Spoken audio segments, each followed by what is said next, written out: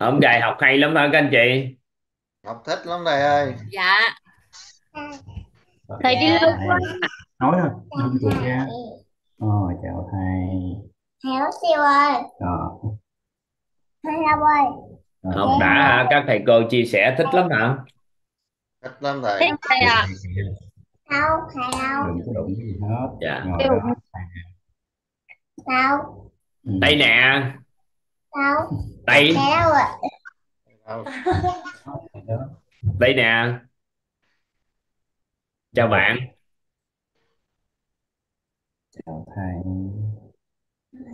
Ừ. ừ, ừ. sao mà nói? Sao chồng nó nói thì chợ? Tại thì từ từ thầy mới nói đây đang nói nè mở mic nè. Đang mở mi nè. Sao không nói hả? chào cả nhà. Ừ.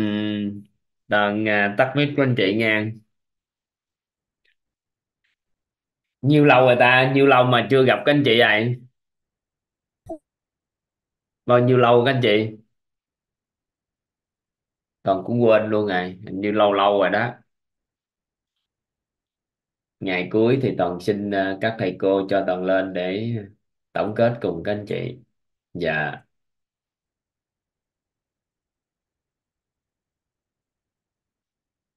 Thằng thấy chị Dung Dung Lưu nè bữa nay nói chuyện tốt hay sao mà giơ tay đây?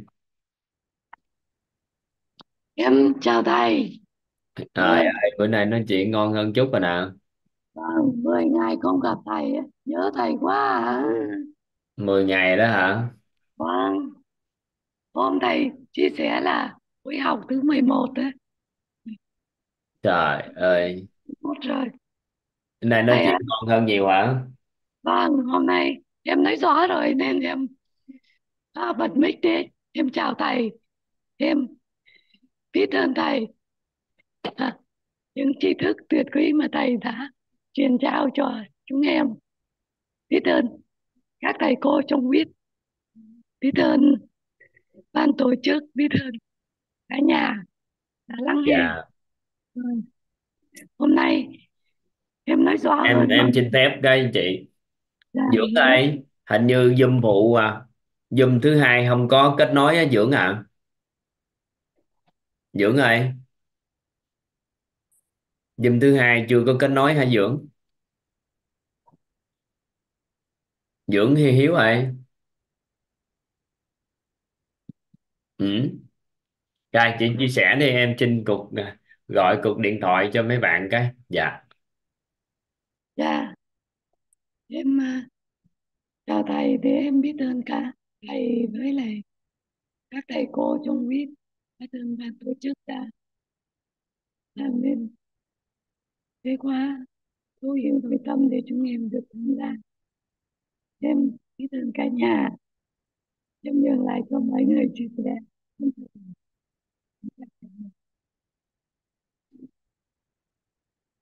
em hạ tay nha thầy.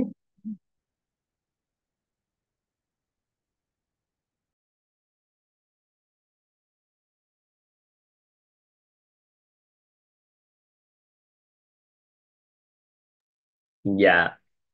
Chị tiếp dọn cái đồ. Trong buồng chị nói xong hả chị luôn Nhung làm đó hả dạ. Chị không cảm đi không cảm đi ba nó miếng đi. dạ em nói xong rồi em chào thầy ha, chào cả nhà. Miếng rồi rồi dẹp rồi làm gì bye bye rồi. về được à, biết ơn chị. Bye bye bye bye con gái. Xin mời chị uh, Mùi Bùi. Dạ em biết ơn thầy đã gọi tên em ạ. À, em biết ơn ờ, hôm nay em mới ờ, thực sự em mới ờ, xung phong xin ờ, để chia sẻ cái bài học tâm đắc ngộ ra cho em ạ. Em biết ơn cái nhân mạch của em là bạn ờ, Nguyễn Thu Hằng ạ. Bạn đang làm ờ, bạn đang học mentor năm ạ. À, em xin giới thiệu qua với thầy và cả nhà một chút ạ. Hiện nay em ờ, là giáo viên. À, em đang sinh sống và làm việc tại Ninh Bình ạ. Em sinh năm 1979 ạ. À, trong uh, suốt khi mà uh, nhân mạch của em chia sẻ cái link uh, 21 ngày thì em có nghe. Sau đó thì em uh, uh, được học ở trong cái K29 ở trong WIT của mình ạ.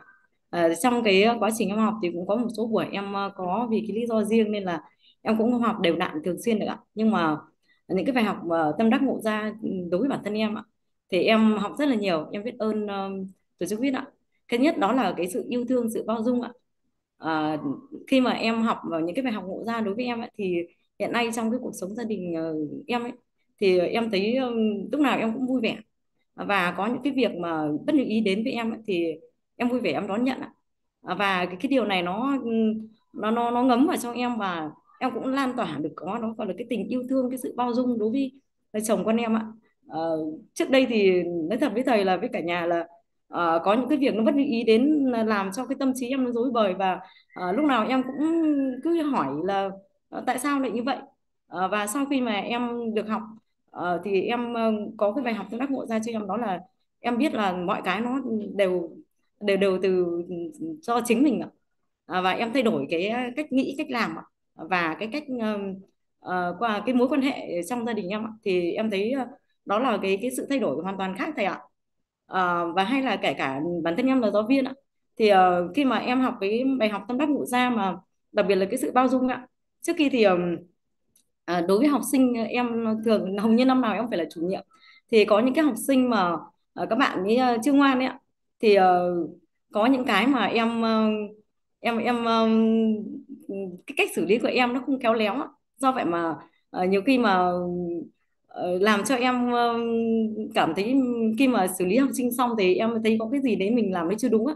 Nhưng mà khi em học ra có cái những bài học tâm đắc bộ ra đặc biệt là cái sự bao dung ấy thì em hiểu ra rằng gì? Mình phải thay đổi lại cái cách ờ, cái cái mối quan hệ giữa mình và học trò của mình ạ. À, và em cũng muốn chia sẻ cả nhà là hay là năm vừa rồi đấy em chủ nhiệm lớp 7 ạ thì có một cái bạn học sinh của em ạ. Bạn ấy rất là nghịch và bạn ấy thường xuyên bạn ấy vi phạm những cái nền nếp của nhà trường và của lớp ạ và khi mà bạn ấy bị uh, vi phạm cái uh, đó là bạn ấy bị uh, rủ bạn ra đánh nhau ạ.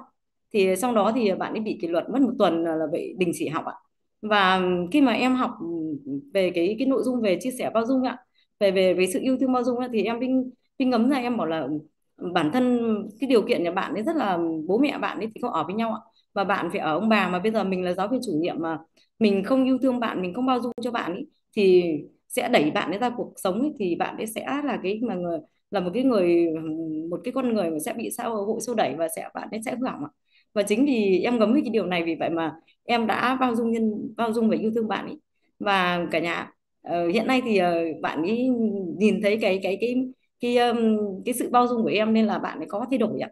Bạn thay đổi nên là vừa rồi thì bạn ấy ờ, khi mà còn có hai tuần mà kết thúc năm học ạ thì bạn đã thay đổi bạn thay đổi rất là một tích cực bạn ấy chấp hành tốt hết các cái nền nếp của trường, của lớp ạ. Và bạn ấy không nghỉ buổi học nào ạ.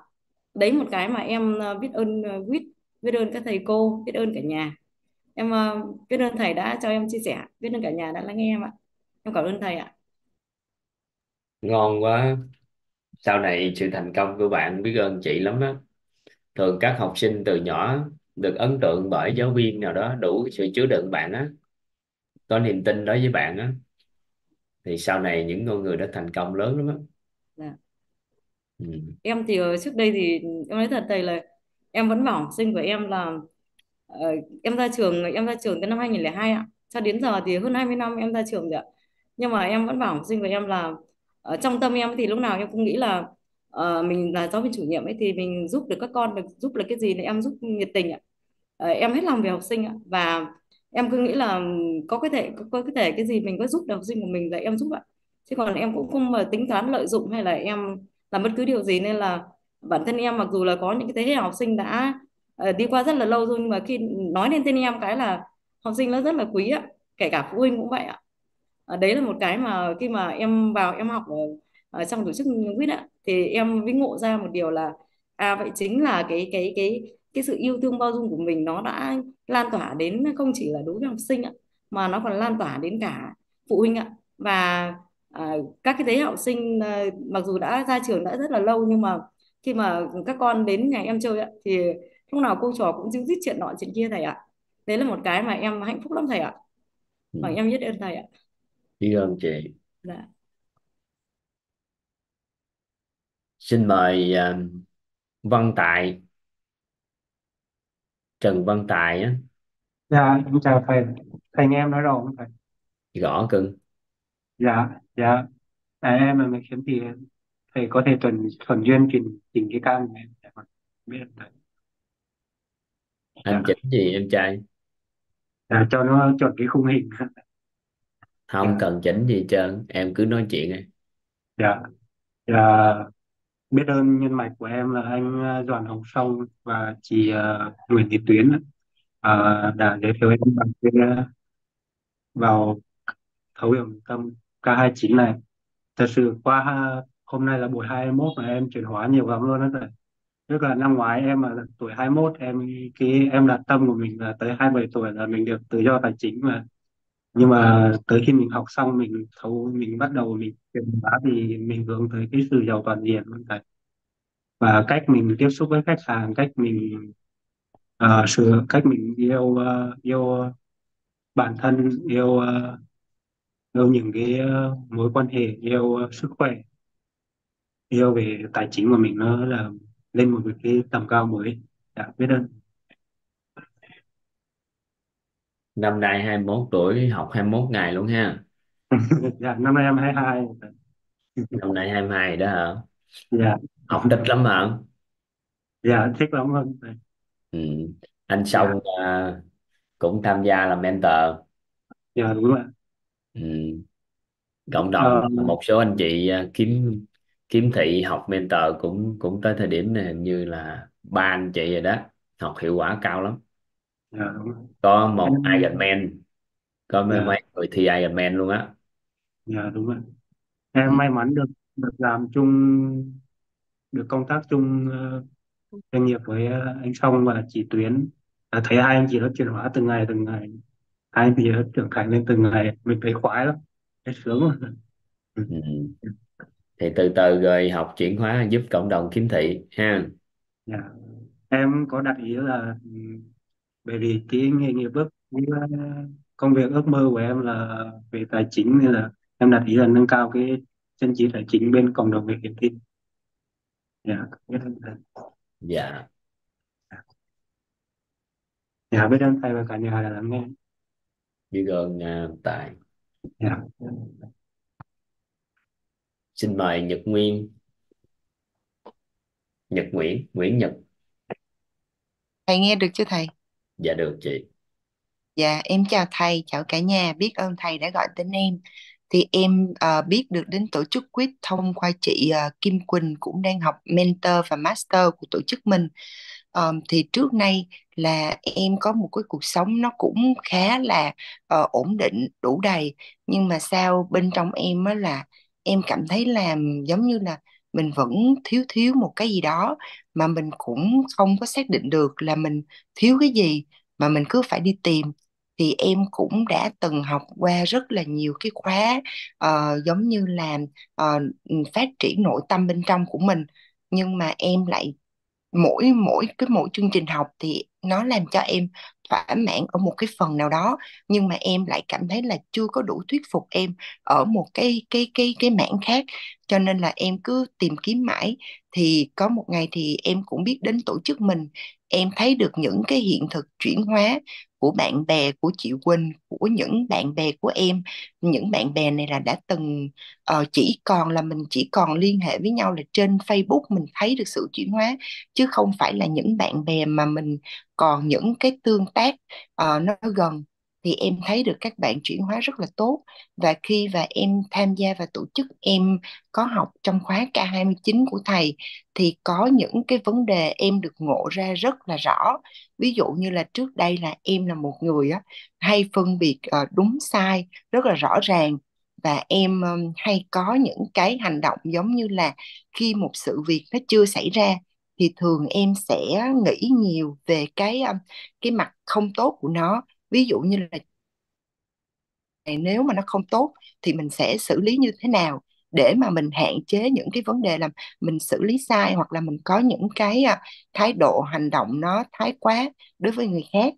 Thì vô tình là em lại đặt ra những cái hình ảnh nó không tốt, nó không có giống như là tích cực, không như em mong muốn thì sau khi học thì em biết được là mình sẽ phải thay đổi những hình ảnh của mình mình sẽ sử dụng cái uh, trí tuệ bậc cao hơn để mà mình đưa những cái hình ảnh như ý như muốn của mình để mà mình đạt được cái điều đó. Đồng thời là em cũng uh, bớt tin vào tướng số tử vi. Tại vì trước nay á, thì em cứ nghĩ á, là cuộc đời của mình nó sẽ có những tại vì em thấy những cái sự việc á nó rất là tuy nó ngẫu nhiên nhưng mà nó hợp lý cái bắt đầu là em lại cảm thấy như vậy là cuộc đời mình nó sẽ được uh, định đoạt bởi một cái gì đó.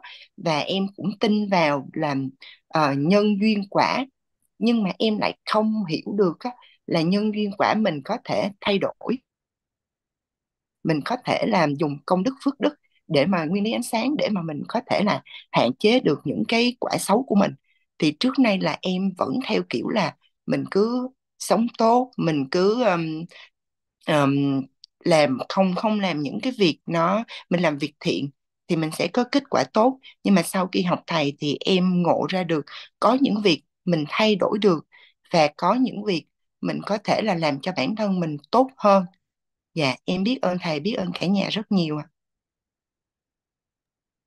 Tin tử vi hả? Tướng số hả? Dạ đúng. Em em thấy mọi thứ nó nó cũng hợp lý á thầy. Có những thì tỷ người là kiếp lệ các à, một số chuyên gia người ta người ta cao nhân người ta chỉ điểm là nó cũng đúng có khoảng cỡ 70 phần trăm. Dạ. Còn lại là 30 phần trăm là biến số đi. Còn nếu mình tin hoàn toàn thì nó đúng hết luôn á. Dù nó sai không sai gì thì mình tin sao nó không vậy. Nên cuộc đời của mình á dạ. em mình mình có thể mình tin là nó có những từ như sau này nè. Đó là số mệnh nè nó có số mệnh nè. Có định mệnh nè. Định mệnh. Được chưa? Còn một cái nữa là có nghiệp mệnh.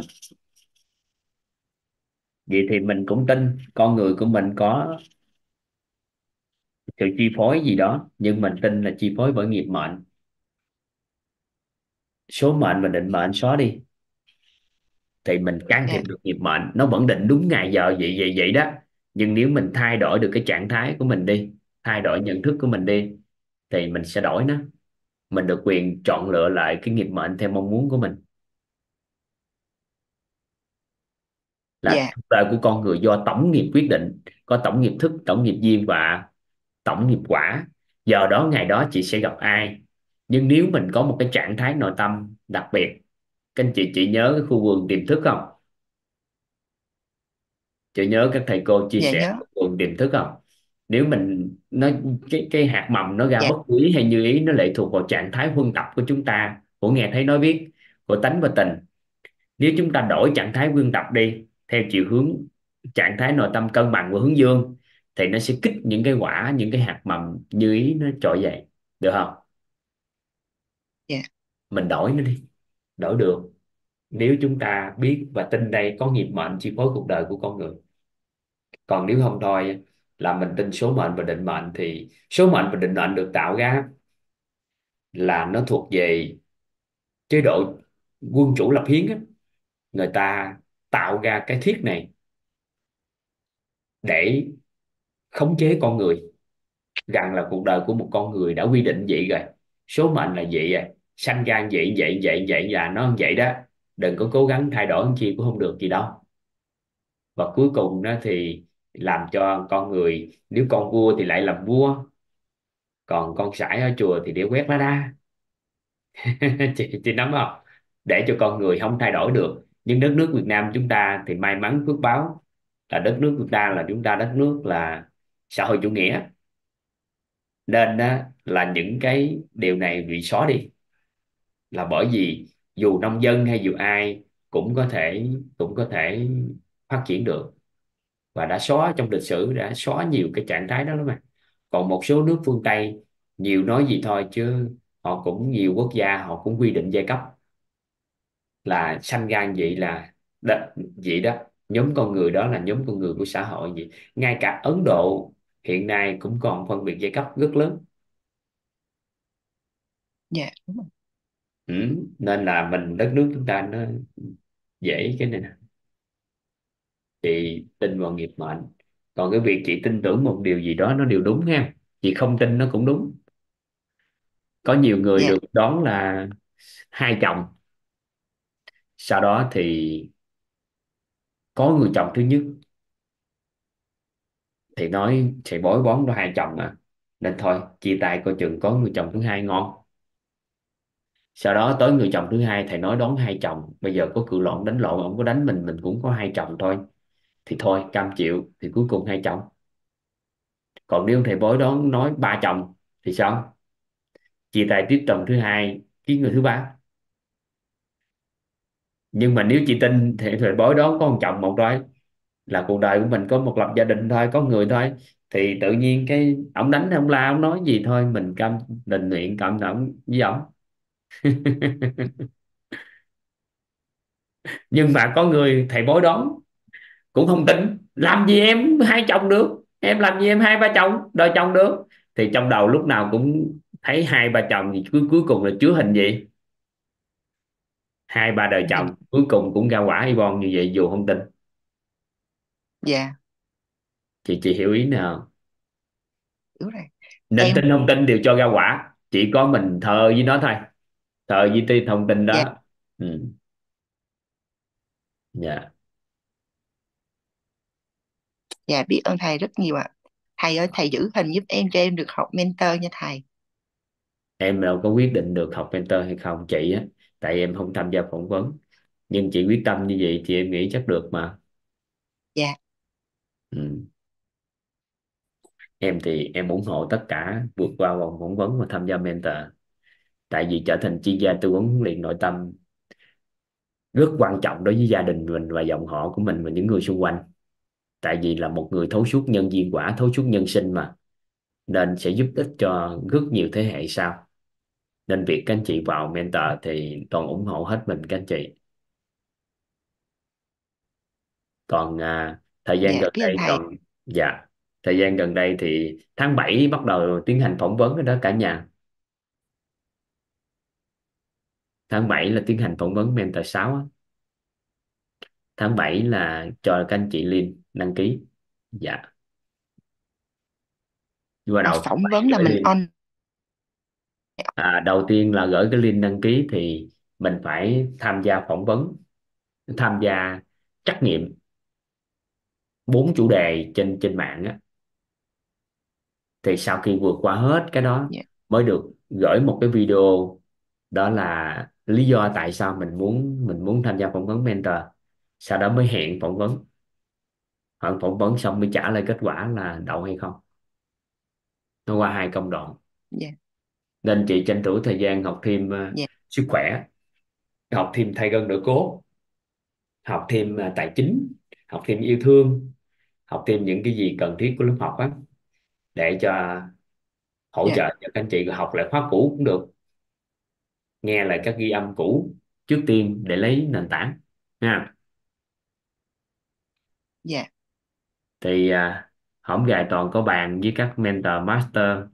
Họ cũng muốn à, xin là kéo dài ra tới mentor 7 toàn thì tính kết thúc mentor 6 thôi. Họ xin kéo dài ra tới mentor 7 để cho các anh chị mentor 5 có thời gian để giúp đỡ cho những người người thân yêu của mình có thể học tập tốt á. Thì toàn cũng cân nhắc, nếu họ xin kéo dài mentor 7 thì mentor 6 toàn sẽ phỏng vấn ít người lại. Chọn số ít người thôi, để thêm cái mentor 7 nữa, làm sao cho đủ, đúng 10.000 người là mình nghĩ. Để cho đủ 7 sư già toàn diện á. Nên có một số anh chị thấy hay quá mà chưa kịp thì các anh chị từng tốn cũng được. Bây giờ thì vẫn còn phỏng vấn kịp nhiều lắm chưa có gì á. Nên là toàn sẽ phỏng vấn ít mentor 6 lại để chờ cho các anh chị đủ độ chính đó để có thể qua thêm mentor 7 để các anh chị có thể tham gia.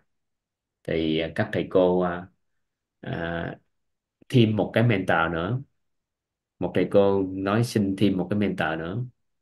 Thì thôi thì toàn thấy nó cũng hợp lý. Bảy siêu già toàn diện là mình kết thúc là vừa nên chị cứ chuyên tâm học tập. Mentor 6 là đã rất tốt rồi. Chuẩn bị nền tảng để nó kịp master master 5 còn nếu mà mentor 7 thì nó, nó trễ tiến độ ha?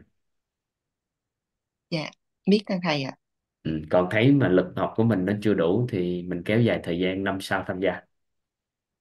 Dạ. Ừ. tại vì nó không đại diện cho bất kỳ điều gì hết trơn. Nhưng mà nếu chị chuyển hóa được thì tham gia phỏng vấn ủng hộ dạ. ha. Tại vì toàn có dạ. Tâm muốn hỗ trợ nhiều chuyên gia tư vấn huấn luyện nội tâm xuất hiện trên đất nước mình mà. Tại vì chị đăng ký vô thì em ủng hộ hết mình ha. Nhưng mà nó có tiêu chuẩn của nó nhưng chắc cũng đơn dạ em biết ơn thầy nhiều ạ.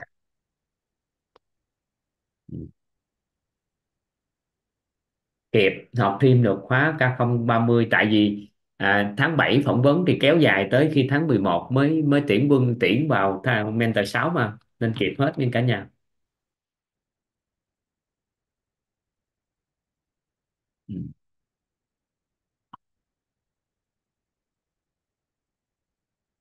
Đồng mời Dung Trần ha Dạ vâng, em kính chào thầy ạ. Em kính chào tất cả các lý trong Zoom ạ. Đã gọi tâm à.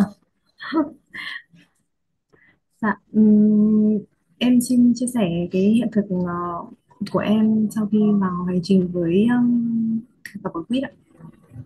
Em cảm nhận rằng là cái hành trình của mình á, ừ, thực tế ra là em từ trước đến thời điểm hiện tại á, là quá trình em quan sát lại tâm của mình ấy là sự chuyển hóa của tâm mình ấy, tâm của mình ấy.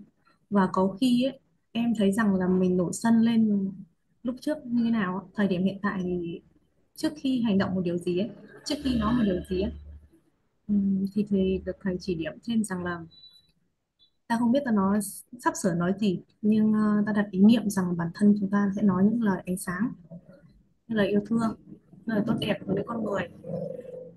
Thì, ờ, có rất là nhiều nhân duyên. Ờ, anh chị tin tưởng chia sẻ câu chuyện của anh chị cho em nghe và mong muốn nhận được cái ừ, sự chia sẻ hồi âm từ em.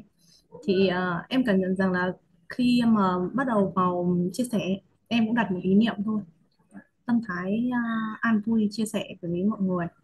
Và um, khi mà em đặt đầu tiên là em hướng đến em đặt ra cái um, đồ hình của mình là một tri thức đầu tiên. Sau đó thì uh, em lắng nghe các anh chị chia sẻ với em. Em đồng thời cái thời điểm lúc đó thì em cảm nhận rằng là khi mà mình chia sẻ các anh chị rất là đón nhận các anh chị rất là nặng. cái lúc trước em thấy rằng là khi mà mình chia sẻ như vậy thì mình ham đưa tri thức vào lắm. Tri thức này tuyệt quá. Tri thức của WIT rất là tuyệt. Mọi người chỉ cần nghe thôi. Mọi người ngủ cũng được, chuyển hóa. Mọi người chỉ cần nghe thôi, thế thôi, hoặc là thuận duyên thì vào học lớp học. Thì sau rồi thì em nhận ra rằng là mình vội quá. Là do mình mong muốn, chứ không phải là người mong muốn là do người mình mong muốn là người ta chuyển hóa. Oh, ngay cái điện từ đấy là em hôm vừa rồi cô cô Phương chia sẻ thì em à đúng rồi âm rồi. Thế là em quay trở lại em làm lại. Thì em khởi tâm lại làm mong muốn bản thân mình ở bản thân mình ấy, là bản thân mình đang làm điều gì nhận biết mình đang làm điều gì khởi tâm cho người bắt đầu từ mình. Chuyển hóa của người bắt đầu từ mình. Thì quay trở lại thì em chia sẻ với một bạn. Bạn ấy đang có vấn nạn về uh, hôn nhân. Mà tâm sự thật với cả nhà mình là em ừ, chưa có hiện thực về hôn nhân. Em vẫn còn độc thân nên em chưa có hiện thực về hôn nhân. Tuy nhiên khi áp dụng vòng tri thức và áp dụng tri thức của quýt đưa vào cội nguồn cuộc sống bắt nguồn từ tôi nhưng không phải lỗi do tôi thì um, ngay lập tức thời điểm đó bản thân em và bản thân cả người chia sẻ và người lắng nghe chia sẻ cũng nhận được hiện thực. Và nhân duyên phước báo sao mà bạn ấy bạn ấy nhận ra vấn đề của mình nhận ra những gì lúc trước mình đã và đang làm. Chuyển luôn hiện thực chuyển luôn hiện thực tại thời điểm chia sẻ xong bạn chuyển luôn hiện thực về vợ của bạn ấy và con của bạn ấy gia đình nhà vợ nữa. Ngày hôm nay bạn ấy có chia sẻ lại với em rằng là ừ, bạn ấy mong muốn được nghe file ghi âm. Lúc này em mới nhận ra cái tâm của mình ấy nếu mình mong muốn người thay đổi thì mình đã đi lầm đường. Cái ờ, bài học ừ, tâm đắc ngộ của em hôm nay nhận ra rằng ấy khi mà mình chia sẻ hay làm gì ấy về tứ trọng ân ấy, thì mình bắt đầu từ xã hội từ tổ chức từ uh, gia đình rồi mới đến bản thân. Nhưng mà mình làm về bốn động lực sinh tồn thì mình làm toàn bộ toàn diện cả bốn điều đó. Thì khi mà em làm điều đó thì em làm luôn trong cái cái buổi chia sẻ của em đối với bạn đó. Em cảm nhận được rằng nó có một nguồn năng lượng rất là tốt rất là thiện lành khi mà mình làm điều đó bởi khi là mình mà làm điều đó xong rồi thì có phải mình làm ngon rồi thì người đó đối với gia đình người đó cũng rất là tốt. Và bạn ấy chia sẻ lan rộng được cho nhiều người nữa thì có phải cộng đồng cũng rất là tốt đẹp hay không? Thì khi mà làm điều đó rồi thì em dồn bốn động lực sinh tồn cùng đồng thời khởi sinh lên điều đó. Thì em cảm thấy um, ok ngon rồi. Em trân trọng biết ơn ngày hôm qua thầy Kiên và bên trân trọng biết ơn cô Phương cô Hương cô Lan và thầy Nhật Anh. Đã dụng tâm chia sẻ cho tri thức, quảng bá tri thức đến tất cả ừ, phòng Zoom ngày K29 này. Cả bên Zoom 1 và bên Zoom 2 trân trọng biết ơn đến tất cả anh chị, trân trọng biết ơn đến thầy rất là nhiều, đến tổ chức và ừ, trân trọng mọi nhân duyên đến, bối cảnh đến giúp cho em có những bài học trưởng thành hơn mỗi ngày. Dạ em trân trọng biết ơn.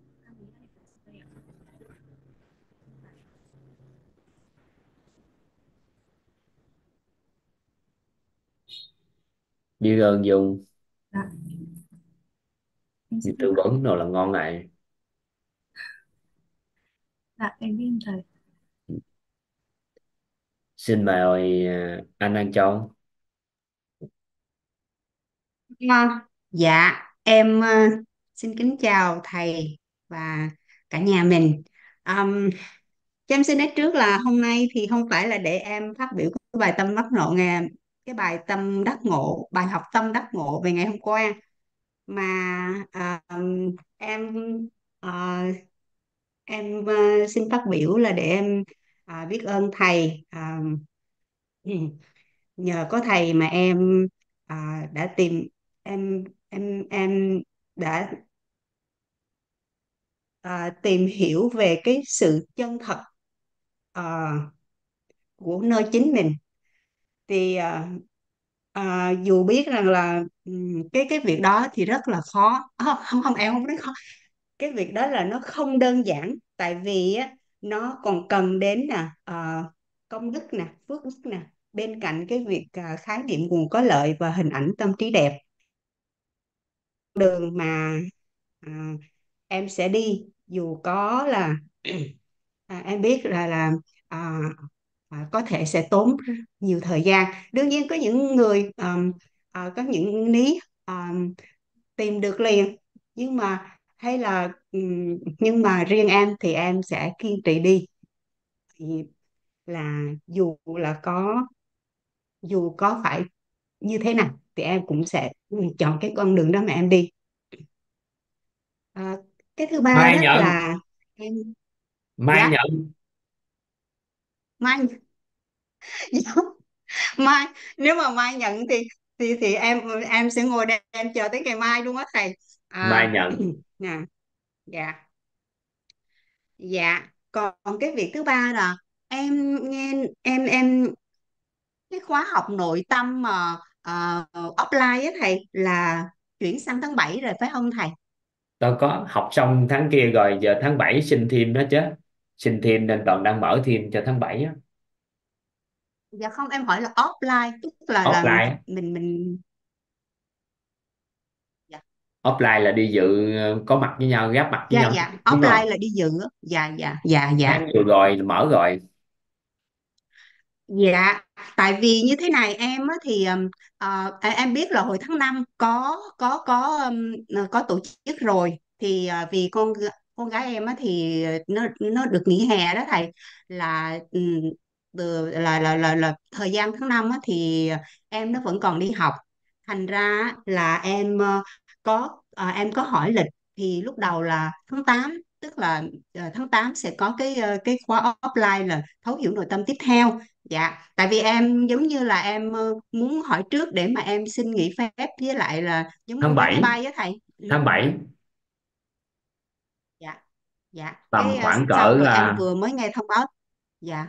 Cỡ khoảng hai mấy tháng 7 á, 23 25 tháng 7 vậy. 25 tháng 7 hả thầy? Dạ. 23 25 nói gì chung là em chỉ dạ 25 tháng 7 dạ em chỉ khoảng cần biết khoảng là được cái ngày 23 chính xác cái là khoảng em 23 em em 25 vậy. dạ hả? Vài bữa nó thông báo. Dạ dạ dạ dạ gửi dạ lên. dạ đó. Em gửi là em lên theo dõi bây giờ em theo dõi Telegram hàng ngày á thầy để em ờ, biết chính xác cái là em ờ, xin em xin nghỉ phép và em mua vé máy bay liền. Dạ đó. Chút xíu em thành ra. em điện liền luôn cho chị nè.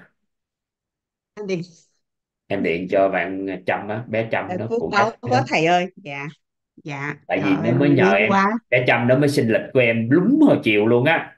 Bé Trâm mới xin lịch em hồi chiều. Luôn đáng lẽ là không có lớp đó luôn á. Dạ trời ơi quý hóa quá thầy ơi. Em nghĩ chắc là nhiều cái cái cái cái duyên cái mong muốn của mình nó lớn quá thì mình sẽ dạ nó nó sẽ đến 2 tháng 7 là ngày mấy với bé nó nãy chốt nhiêu ngày mấy anh quên này Dạ ngày 23 tới ngày 28 á thầy. ngày 3 tới 28 tháng 7 ok anh đang nói cho lớp 23 ờ, trên lớp học ở trên đây dạ. mọi người nắm bắt không ạ biết ơn cưng nha. Dạ. Dạ thầy. Dạ. Dạ. Dạ. Dạ. 23 đến 28 nghìn chị dạ em mới chốt dạ chiều luôn á. 23 dạ. Em mới vừa chốt giờ lịch hồi chiều luôn. Mấy bạn xin em lịch là hồi chiều luôn. Á. dạ lẽ dạ. lớp này không mở được. Dạ dạ dạ. Không rồi tháng 11 dạ 12 dạ mới dạ. quay lại. Ừ. dạ dạ dạ dạ. Dạ. Thì tại vì nếu mà hè thì con gái em sẽ ừ, em em em cho nó về luôn á thầy. Dạ. 23 tháng 7 cho tới là 28 tháng tháng 7 7 hả thầy. Chị ở Mỹ hay đâu? Dạ dạ dạ em đang ở Mỹ. Đó bởi vậy cái ở đó lúc lịch đầu là ờ, ở lịch lúc đầu đó là em cố định lịch dạ chị để dạ. cho chị biết chị xin phép rồi chị vé máy bay rồi phù hợp ha. Dạ dạ dạ dạ dạ. Lịch đó đó đó không là có xê dịch là rồi đó. Dạ dạ.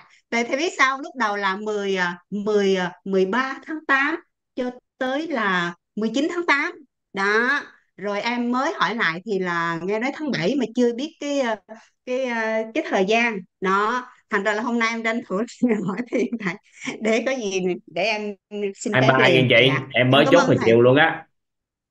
Dạ dạ ở dạ Mũi em Né hay sao? thầy. Ở Mũi Né Phan Thiết hay sao? Dạ dạ. Toàn Ờ, toàn hồi hỏi lại cái nữa toàn điện cái nữa cái toàn điện cái nữa đâu cái cả nhà. Mới chốt. Dạ. Biết ơn các anh chị. Dạ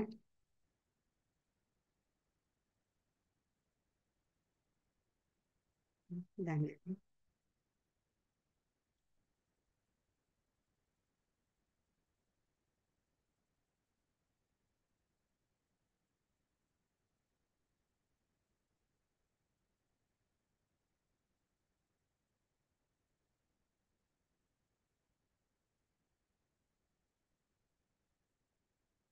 Chưa bắt máy luôn các anh chị đợi một tí. Dạ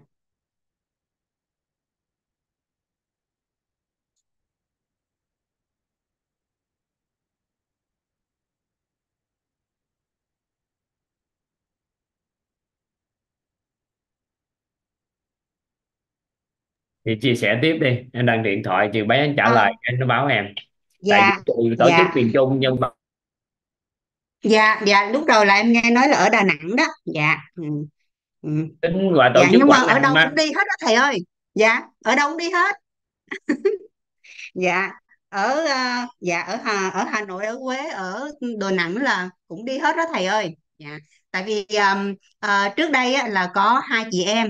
Hai chị em là chị đầu là à, huyền tôn nữ à, Diệu Thuận. Còn chị thứ hai là huyền tôn nữ à, Minh Thuận. Đó là hai chị đó đi và về khen dữ lắm thích lắm. Đó mà em á thì em nghĩ là à, mình về Việt Nam thì mình à, bên cạnh cái việc thăm gia đình thì mình có một cái ờ, cái mục đích. Đó nó ừ, là thành ra là thầy biết không? Em là hả ai mọi người hỏi là tháng mấy em về? Thì em mới nói là cái tháng mấy em về là nó phụ thuộc vô cái cái lịch offline vào tháng mấy. Nó thì em ấy, thì thì thì em mới à, mới biết được chính xác là tháng mấy em về. Yeah. Dạ. Dạ, thì em biết là bây giờ là tháng 7 rồi đó. Yeah. thì à, dạ thì em cũng không có dám uh, mất nhiều thời gian để um, để uh, để để uh, để các uh, ní có thể là uh, uh, chia sẻ tiếp dạ còn à, hôm nay là em à, xin phép cảm ơn thầy một lần nữa. Cảm ơn thầy rất là nhiều. À, nhiều khi trước đây thì mình cũng à, có, à, có hơi à, à, nghĩ cái này cái kia một chút. Nhưng mà em bây giờ em xác định rồi mình đã đi vào con đường sáng thì chắc chắn con mình cũng chỉ có một con đường đó là đi theo cái ánh sáng đó. Thì à, cái điều đó cái niềm tin đó làm cho em cảm thấy rằng là em à, rất là rất là mừng. Dạ. À, em xin phép. Dạ em mũi né bay nghe chị. ở dạ. à, ở Bình Thuận nghe chị. Phan Thiết mũi né bay. À ô dạ dạ dạ. Ở Bình Thuận Phan Thiết dạ. Dạ tại vì sau tháng 8 thì à, mới chương trình diễn ra ở à, Hội An được. Tại vì khách sạn resort năm sao đó sau tháng 8 người ta mới khai trương nếu mà tổ chức trước Ờ, tháng 8 dạ thì dạ dạ. Bay ha. Dạ dạ dạ dạ chị dạ. Em cảm ơn thầy rất là nhiều. Dạ em xin phép ạ. Chúc mừng chị về nước chơi vui vẻ nha. Ồ, dạ dạ. Mừng lắm thầy ơi. Chuyến đi có ý nghĩa là em là là quý lắm rồi. Dạ. Chị ruột của chị học hay sao? Hay là ai học? Dạ. Mấy chị gì đó tôn nữ Mỹ gì đó. À, chị em á là chị đầu của em á chị chị thứ nhất của em là huyền tôn nữ Diệu Thuận là hình à, như thật em là nhớ tên là người đã coi tới như tên là chị đó. Em nhớ tên chị hình như em có dạ. đi học offline hay sao em đã đọc tên đó rồi á. Dạ đúng rồi. Là huyền tôn nữ Diệu Thuận là cái người nhân mạch đầu tiên là chị ruột của em còn à, còn cô Ngô Trinh Ngọc là master mentor đó là à, là người là cái là nhân mạch à, là nhân mạch của em là nhân mạch thứ hai của em. Dạ. Dạ. Còn à, rồi chị chị em là huyền tôn nữ Diệu Thuận là chị mới giới thiệu cho cho cho cho em với lại chị một cái chị tiếp theo là chị là huyền tôn nữ là Minh Thuận. Dạ. Ừ. rồi à, đà- rồi chị là huyền tôn nữ đều có gì đi up em là huyền tôn nữ Mỹ Thuận.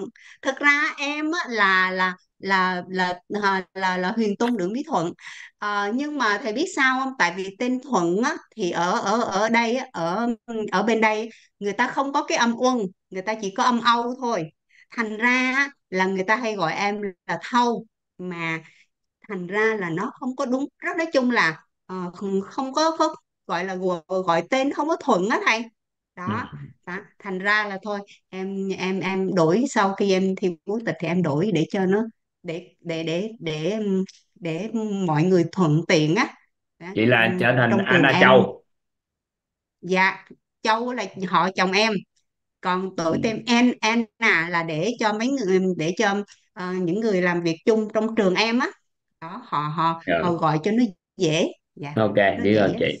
Ừ. thành mà em dạ dạ dạ. Bye bye chị gặp chị ở offline tại à, tháng 7 dạ dạ dạ dạ. Em cảm ơn thầy rất là nhiều anh Phạm ơi lịch tháng 8 không có đâu nghe chị ơi. Tháng 7 có offline là mình dạ hết rồi đó. Em biết ơn chị Châu dạ em dạ trả lời dạ. cho chị anh Phạm trên mạng mà. Em tắt mic chị nha. Dạ. Dạ. Dạ em cảm ơn thầy. Dạ em xin tắt mic. Không có nghe chị à, chị à, anh Phạm không có tháng 8 nha tháng 8 không có chương trình nữa. Thành đi tháng 11 12 gì có có là cuối luôn á. Dạ. Xin mời anh à, Tập. Thấy mỗi lần anh phát biểu hình như hơi lâu nên em để cuối cùng mới nói cho anh nói chuyện chút xíu để em canh thời gian. Vâng vâng. À, vâng em xin uh, chào anh có nhiều điều tâm đắc quá nên phát biểu lâu. Thấy mấy lần là phát biểu hơi lâu. Vâng nên vâng em vâng. nãy giờ giơ tay đầu tiên như cho để gần cuối. Nếu phát biểu dư giờ cho người khác không có tới anh là kết thúc cỡ khoảng 8 giờ nghỉ ha. Vâng vâng em biết uh, ơn thầy biết ơn uh, cả nhà. Vâng em xin phép được uh, chia sẻ bài học tâm đắc ngộ. Thế thì là đến buổi hôm qua thế là vào 20 buổi. Thì em mới hình dung ra được tất cả trong 20 buổi. Thì đó là cái về các cái nguyên lý.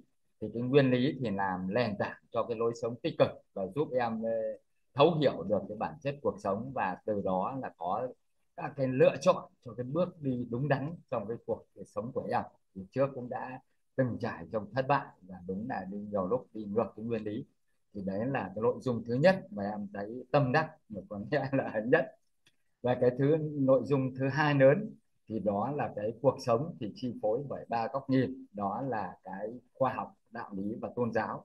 Thế thì về, đứng về phía khoa học thì đó là cái cội nguồn cuộc sống thì bắt nguồn từ tôi và đặc biệt là về cái, cái tôn giáo tín ngưỡng và cấu trúc con người thì giải thích là được cho cái cội nguồn cuộc sống bắt nguồn từ đâu theo góc nhìn của tôn giáo tín ngưỡng và lý giải được cái mọi cái nghi vấn trong cái cuộc sống và từ đó giúp ờ, chúng ta khai mở trí tuệ và mở ra một cái cánh cửa nhân sinh.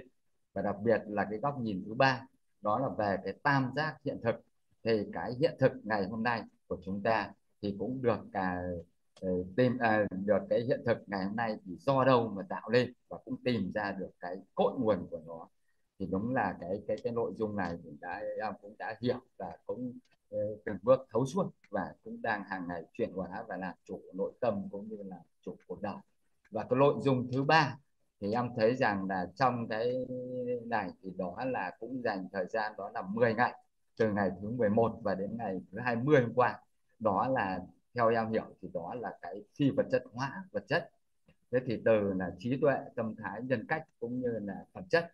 Thế thì trí tuệ thì em thấy rằng đó là cái là luôn luôn làm sao để luân chuyển các cái tầng bậc một, hai, ba để ứng xử cho phù hợp trong cái cuộc sống để có một cái tốt nhất.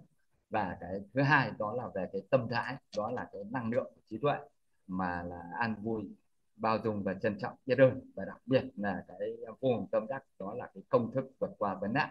Và có lẽ cái nội dung này thì đúng quả thực, em mới thấy rằng là là là là là từ nay đi trong cái niềm tin của em là có thể là đứng trên vấn nạn và cũng là mọi vấn đề là nó không để cái vấn đề gì cả. Thế và cái tiếp theo đó là về cái con người, thì có lẽ là cái tám tố chất của nhân dạng thì đây em cũng đưa vào cái, trong cái chương trình đối với cái bản thân em quân tập hàng ngày đó là chuyển sang cái hành động của cái tám tố chất nhân dạng để luôn luôn cái cái cái cái thay đổi trong cái con người mình ở cái mức độ nhanh nhất. Và đặc biệt là cái tâm à, cái cái cái phi vật chất thứ ba đó là về cái nhân cách. Thì đó là cái chín cái nhân cách mà em vẫn cứ tâm đắc mạng là cô Phương có chia sẻ là bây giờ là mặc cái áo ờ, nhân cách này là đi đâu cũng mặc. Thế hôm nọ em có chia sẻ và cái mặc cái áo nhân cách, nhưng mà em đi làm việc hết cả ngày, em về nhà nó hết năng lượng. Thì có lẽ là về nhà em lại bỏ ra thành thử ra là về nhà đôi lúc thì lại vẫn còn đang hạn chế, cũng điều chỉnh ngay của cái lĩnh vực này. Và đặc biệt trong cái nhân cách này nó sẽ thu hút được con người đến gần mình. Và đây là một trong cái mà để là những cái yếu tố mà cái thành công trong con người em mà cũng em cũng nhận thấy. Và cái cái cái cái cuối cùng đó là cái vấn đề là phẩm chất. Thì hôm qua thầy Trí Kiên thì vừa mới chia sẻ. Và đúng là em mới thấy rằng là năm cái gốc của phẩm chất đó là nhân lễ nghĩa trí tín. Và trên cả bạn bốn lĩnh vực sinh tồn là bản thân, gia đình và tổ chức xã hội. Thế thì trước quả thực là em cũng chăn trở và hiện nay em cũng tham gia rất nhiều các cái hội.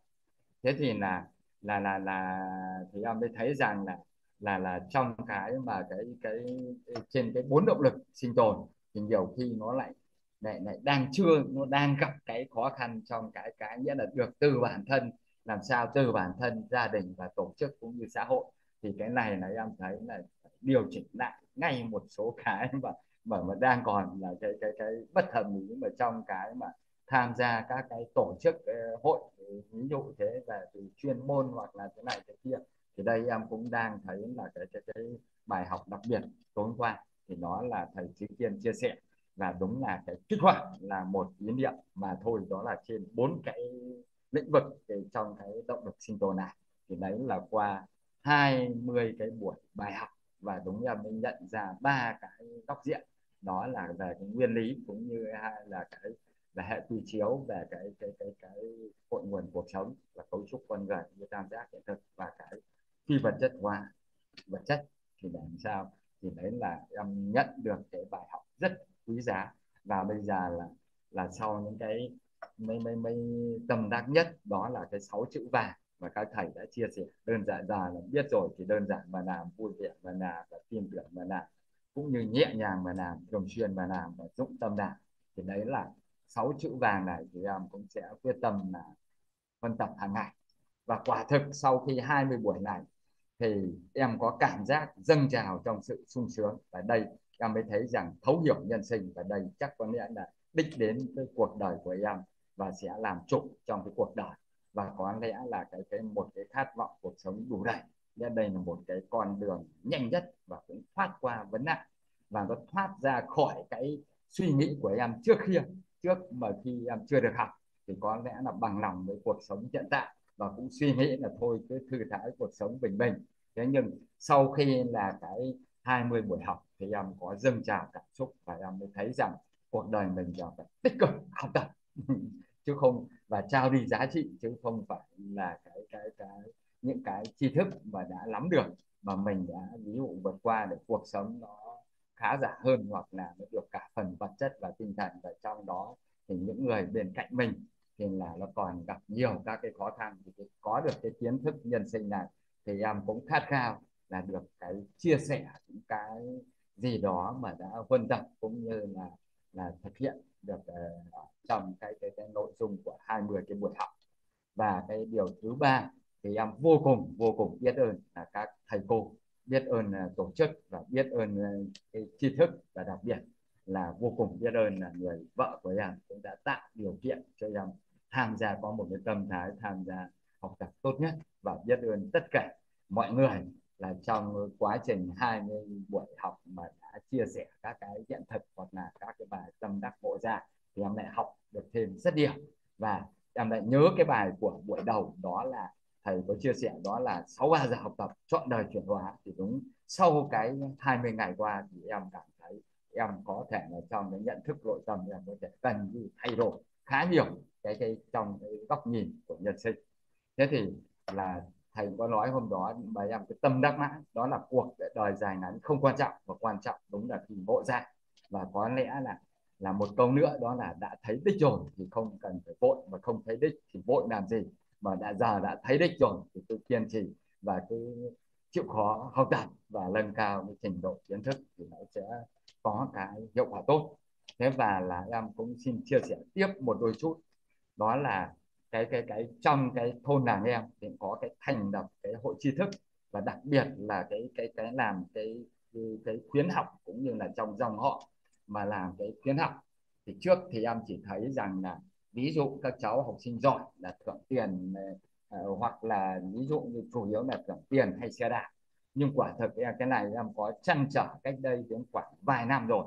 Thì em mong muốn là cái cái giờ có cái cái tri thức này mà em muốn là như kiểu trao đi cái giá trị mà bằng cái vấn đề phi vật chất mà em nghĩ rằng nó sẽ hơn rất nhiều cái cái cái thưởng này. Thì đấy là cái cái cái thứ nhất. Và cái thứ hai nữa là cái nghề nghiệp của em thì đó là về chuyên về ngành nông nghiệp đó là gọi là chuyển giao cho bà con về trồng lúa và nuôi cá. Thế thì có cái nhiều buổi em chia sẻ về chuyển giao kỹ thuật thì nó hàng trăm người và và và đặc biệt là em cũng tham gia nhiều cái tổ chức và em cũng uh, cũng cũng là chân trở cách đây khoảng vài năm. Thì cái việc đầu tiên là các cái kiến thức chuyên môn thì đấy là mình mới qua offline còn quả thực em cũng chăn trở là mấy năm gần đây đó là về cái chuyển giao kỹ thuật thì trên cả mấy cái nền tảng xã hội, đó là Facebook cũng như là YouTube và trên TikTok. Thì quả thực là em chăn trở hai cái nội dung này mấy năm. Và hôm nay em có nội dung này, em có một cái nghi vấn thì em muốn là làm thế nào để trao cái cái tri thức về nhân sinh này đã nắm được thì là cho cái hội của tôi, trí thức của cái thôn chúng em thì đó là cho cái học sinh mà đang học trong cái cấp 3 mà là là là để ý tưởng của em là nghĩa là em đã học được rồi thì là sẽ chia sẻ lại, là như kiểu là cái nội dung có thể cho các em nắm được là làm chủ chính mình hoặc là cái đồng nghiệp của cái cái cái nghề nghiệp, đặc biệt là bà con nông dân thì thông qua cái nền tảng mà nếu em ờ, triển khai thực hiện và vừa chuyển giao kỹ thuật để em có thể ờ, đưa vào. Thế thì cái đấy là em nghi vấn cái cái cái thứ nhất có gì thật sẽ chia, uh, à, chia sẻ thêm giúp em. Thì là em mong muốn để em đưa vào. Nếu như ví dụ em nắm được đến đâu còn không thì là em sẽ là ừ, theo suy nghĩ của em sẽ lấy các cái chủ đề. Sau khi đó là là em sẽ làm đường nhân mạch giới thiệu là các em này mới đến với tổ chức. Dạ, chẳng hạn như vậy. Ví dụ cái gì em nắm được em sẽ chia sẻ. Hoặc cái bài mà em đã nghi vấn và em sẽ muốn là gửi cái nội dung cho các cái thầy cô thì em muốn là là là là uh, tư vấn tham gia giúp em chẳng hạn là cái, cái, cái nội dung đấy. Và cái nghi vấn thứ hai của em thì em mong muốn là làm thế nào để trở thành là một tham gia học tập một cái mentor 6 tới đây. Đấy thì là em có hai cái câu hỏi nghi vấn thì cũng chăn trở và ờ, có gì cũng xin thầy ừ, tư vấn thêm giúp em vâng em rất biết ơn thầy biết ơn cả nhà đã lắng nghe chia sẻ. Không biết tư vấn đâu. Tại vì ăn học tốt như vậy mà còn chăn trở làm sao vô mentor 6 là có nghĩa là mất niềm tin bản thân. Mà mất niềm tin bản thân là đã không vô được rồi. Nên không tư vấn nữa. Còn chỉ cần ờ, các lớp học tham gia thêm còn học và nhận thức như vậy và anh ứng dụng được như vậy thì anh tự tin tham gia chứ tại sao cần phải nghi vấn thêm nữa? Nghi vấn thêm nữa có nghĩa là anh thiếu niềm tin của bản thân. Thiếu niềm tin có nghĩa là anh cảm thấy mình chưa vô được mà anh lại lo lắng. Thì anh đã xong rồi. Vâng thế này. Vâng em thế này.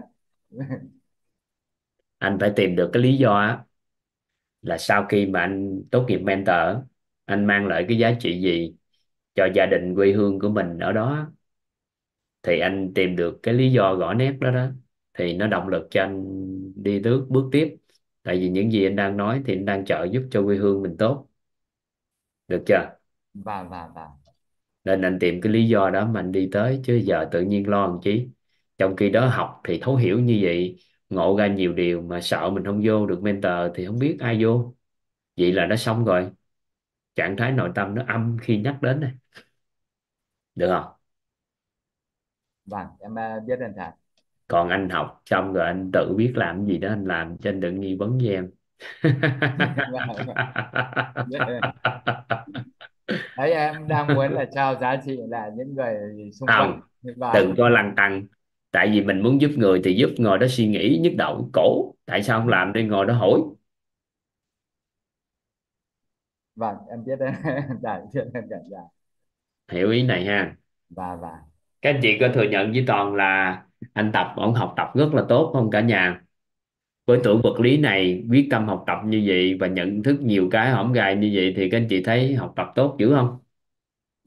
Chỉ cần học thêm các lớp học đủ đầy để làm trắc nghiệm nữa thôi là đậu rồi là được rồi. Còn vô phỏng vấn đậu gớt hay không thì không biết. Nếu mất niềm tin như thế này là vô phỏng vấn gớt vâng em sẽ thay, đổi. Chắc chắn gớt trăm phần trăm gớt. Vâng. Để anh toàn chỉ cho cái chiêu ha. Và và người phụ nữ khi kết hôn á thì kỳ vọng kết hôn với một người đàn ông mang lại điều gì cho mình? Đúng chưa? Và đi ngược nhân quả. Đi ngược nhân quả tại vì nếu kết hôn mà mong kỳ vọng người đàn ông mang lại cái gì cho mình, thì mình đang thiếu cái đó làm sao có. Nhưng mà trước khi kết hôn, người phụ nữ nó sẽ mang lại lợi ích gì cho người đàn ông. Thì người đàn ông có phước báo đủ để hưởng những giá trị đó thì lại gặp mình. Thì lúc thời điểm đó, mình luôn luôn có người đàn ông, luôn luôn có phước báo tốt đến với mình. Vậy thì khi anh bắt đầu bước vào học, chuẩn bị học tập và mentor thì anh kỳ vọng vô đây học để được cái gì cái gì cái gì? Thì ý niệm đó nó đã chẹo rồi. Mà anh vào học để đóng góp gì cho xã hội sau này tham gia xây dựng cộng đồng ra sao và tạo giá trị gì cho xã hội? Thì như vậy ý niệm đó nó mới ý niệm dương khi anh bước vào. Thì anh rất tự tin không có mentor 6 mà không có Trần Đình Tập là thiệt thòi nhất nhân loại này. Tổ chức quyết không có cái sự học tập của tôi. Thì đời này tổ chức sẽ hối hận. Chứ ở đâu mà mình tuyển người gì đâu mà mình nghĩ là cứ vô không được là sao hiểu không ta? Vâng em biết em đã tổ chức đào tạo WAT cộng đồng viết không có Trần Đình Tập thì sẽ là một thiệt thòi rất lớn thì đúng hơn. Tại vì tôi sẽ mang lại giá trị rất lớn cho xã hội khi nếu chấp nhận bồi dưỡng tôi trong giai đoạn này. Thì như vậy còn có cơ may được không? Và và hỏi nè, thầy ơi như câu nói đó thì có ngã mạn không ạ toàn nói thì làm gì ngã mạn toàn nói cho anh tập mà làm gì ngã mạn còn ổng tự nói á. Thì thì đúng là ngạo mạn. Hiểu này không ạ. Một và người và tuổi vật lý anh sinh năm anh gần 70 tuổi đúng không? Năm mấy tuổi đúng? Không sáu mươi sáu mấy đúng không? Dạ em bé 55 tuổi vật lý thầy ạ. Thì 55 tuổi hang. Vâng 55 nay tuổi mà có tâm huyết học tập nhân sinh như thế này người ta ủng hộ lắm. Hang.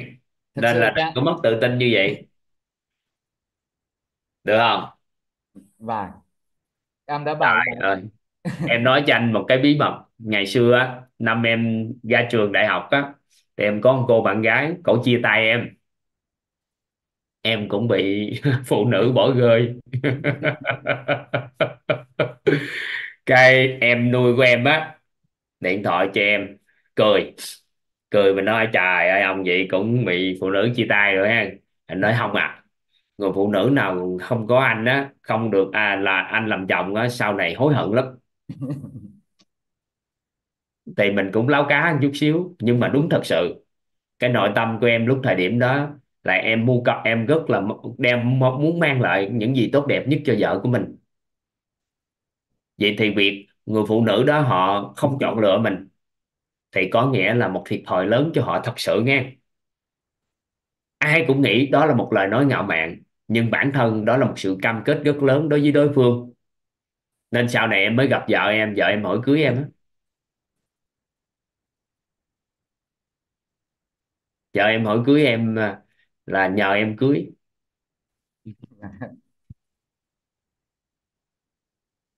Hiểu ý này. Dạ. Nên anh cứ tự tin. Chứ hơi đau ăn học vậy mà còn thấy hỏi hỏi nghi vấn rồi đậu hay không hết biết muốn nó nói chuyện với ông luôn. À. vậy nha bye bye anh tập. Và vâng biết ơn thầy biết ơn ừ. ờ, cả nhà đã lắng nghe em chia sẻ. Và vâng Ừ. các anh chị cứ tự tin nha. Học 21 buổi nghiêm túc ngày nào cũng học ngày nào cũng hiểu hiểu hiểu. Thì việc thi cử các anh chị không có vấn đề gì hết trơn. Rồi sau đó phỏng vấn đậu thôi tại vì mình tạo giá trị xã hội trong tương lai mình sợ gì. Nha ừ.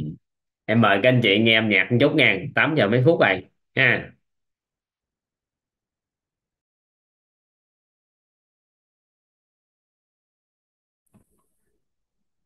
Dạ để em mở hay sao? mở giúp anh cưng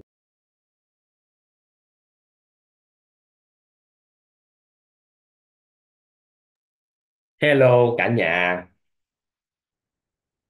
chúng ta quay lại nghe cả nhà. Mấy ngày nay chúng ta tham gia chúng ta học được cái gì rồi cả nhà? Ừ. có ai lên đại diện à, kể tiêu đề không? Các thầy cô chia sẻ không? Nhớ thầy cô nào chia sẻ chủ đề gì không? Ừ các anh chị. Có ai không? Có ai nhớ từ đầu tới giờ luôn không?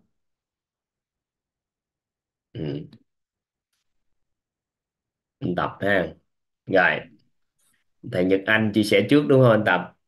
Dạ. Thầy Nhật Anh chia sẻ trước hay ai chia sẻ trước ta? Thầy Nhật Anh là chia sẻ bài về cội nguồn cuộc sống thầy ạ. Tất cả mấy bài về cội nguồn cuộc sống. Ừ. có nghĩa là tới ờ, cô ờ, Vũ Phương. Cô Vũ Phương thì làm rất nhiều bài mà em nhớ là sau cái bài trí tuệ của thầy dạy là bài 11 thì đến cô Vũ Phương và đến bài 13 là cổ của cô ờ, gì nhỉ? Của cô Liên Hương hay gì đấy và Thiên cô Hương. Hương trân trọng biết ơn. À, và và là cái bài 13 ừ. và rồi cô ờ, Bích Lan cô Bích Lan. Vâng. Thế là cô Bích Lan chia sẻ gì? Quên này thế vật là chất của trí tuệ. Và và và vật chất của trí tuệ đúng không? Và vâng vật chất trí tuệ. Và và ừ. bên cô đan và công thức vượt thoát vấn nạn rồi đó. Và vâng. À. rồi tới quay trở ngược lại là cô Vũ Phương nói tiếp. Nhân cách hả? Và và. Sau đó tới thầy uh, Chí Kiên nói phẩm chất. Và là một bài cuối nhân cách phẩm chất ha. Và và. Rồi em hỏi thăm gì đó để coi Dạ, bài luôn. Rồi ngày hôm nay toàn hỗ trợ cho các anh chị à,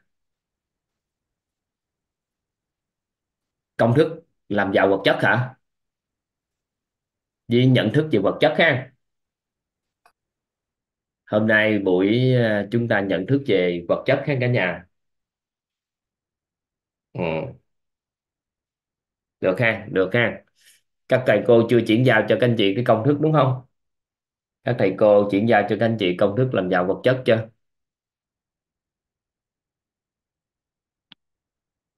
Ừ. hình như chưa, đúng không? Chưa ha. Rồi. Vậy đầu tiên, chúng ta có nhận thức trước một cái. Chúng ta nhận thức về vật chất trước một cái.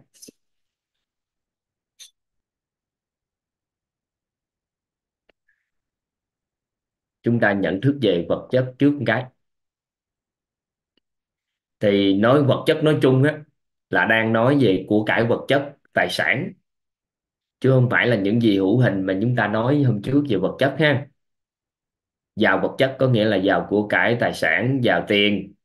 Thì chúng ta có thể quy đổi tất cả lại. Vật chất có thể tương đương với một cái thuật ngữ đó là tiền được không ạ? Toàn thỏa hiệp thỏa, thỏa thuận với các anh chị là vật chất chúng ta quy đổi thành chữ tiền nha cả nhà. Các anh chị vật chất chúng ta quy đổi thành tiền được không? Hợp lý không cả nhà? Ừ?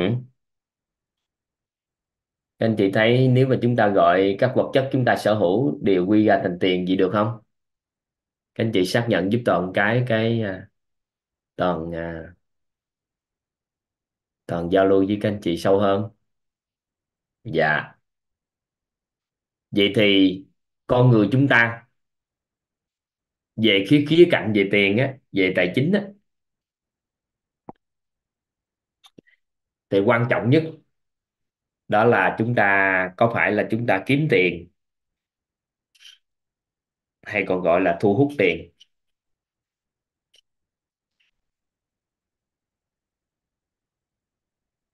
Tiền thì nếu chúng ta thu hút được thì các anh chị thấy sao ạ?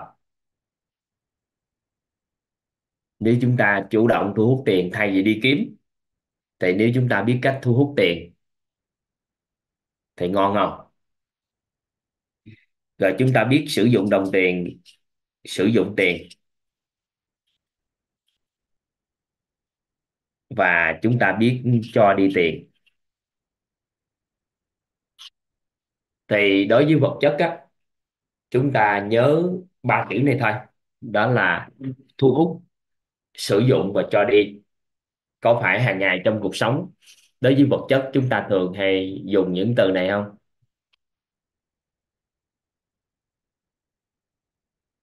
Cả nhà.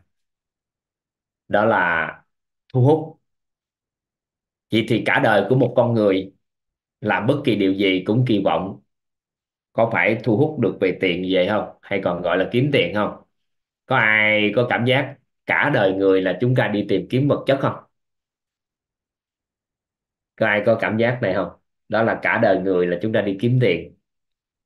Ở đây chúng ta dùng cái thuật ngữ thu hút để cho nó nó mạnh mẽ hơn, nó chủ động hơn. Còn thông thường là chúng ta cả đời người là chúng ta đi kiếm tiền. Các anh chị đồng thuận với toàn, cả cuộc đời của một con người là đi tìm kiếm vật chất không? Đồng thuận ha. Rồi, cái thứ hai, sau khi kiếm xong rồi, chúng ta làm gì? Có phải chúng ta sử dụng đồng tiền đúng chưa? Chúng ta xài, chúng ta sử dụng. Được không? Sau đó cái thời gian chúng ta thấy mình tiền dư quá nên không biết làm gì nữa. Mình làm gì? Mình tạo lập phương tiện gì đó mình cho đi. Cho đi. Được không? Ngẫm lại các anh chị thấy phù hợp không? Ngẫm lại thấy cả đời này cũng xoay quanh có mấy chữ này thôi. Về vật chất á, chúng ta xoay quanh xoay quanh nó có nhiều đó đó. Các anh chị ngẫm lại thử thấy nó hợp lý không? Hợp lý xong thì học tiếp tham giao lưu tiếp.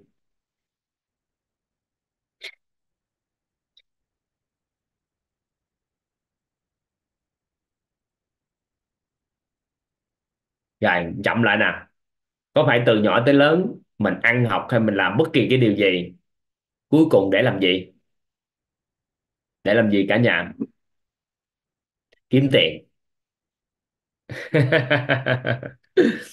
Sau đó à, kiếm xong rồi, trong quá trình kiếm tiền để xài nó, mình gọi là từ sử dụng đó. Sau đó tiền thừa quá, thì nghĩ tới cái chuyện cho đi không phải những người tỷ phú, người ta tìm mọi cách để cho đi tiền không? Có nhiều người quá giàu, tiền nhiều quá, nên không biết gì, nghĩ mọi thủ đoạn để cho đi tiền, đúng không? Vậy thì đời người có nhiêu đó thôi đó? Đối với vật chất có nhiều đó thôi vậy thì cuối cùng, theo các anh chị, thì mình có sở hữu cái gì không? Về vật chất theo các anh chị, về mặt vật chất thì chúng ta có sở hữu gì hay không?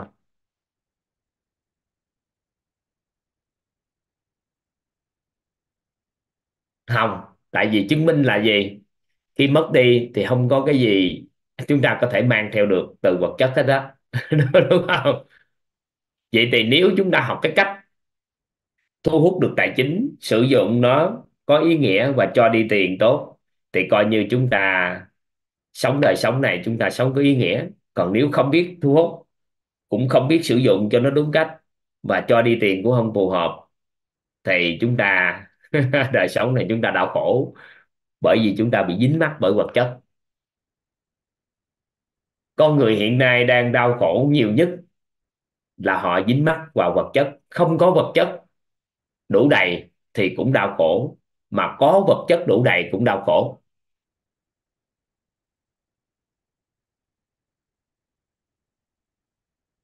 Vậy thì nếu mà con người chúng ta có một cái trạng thái rất đặc biệt như sau, đó là sở hữu mà không sở hữu, mà sở hữu mà không sở hữu, thì chúng ta mới hết đau khổ. Có nghĩa là sở hữu mà không dính mắc, nhưng không sở hữu thì không đau khổ. Nếu được như vậy thì các anh chị nghĩ sao?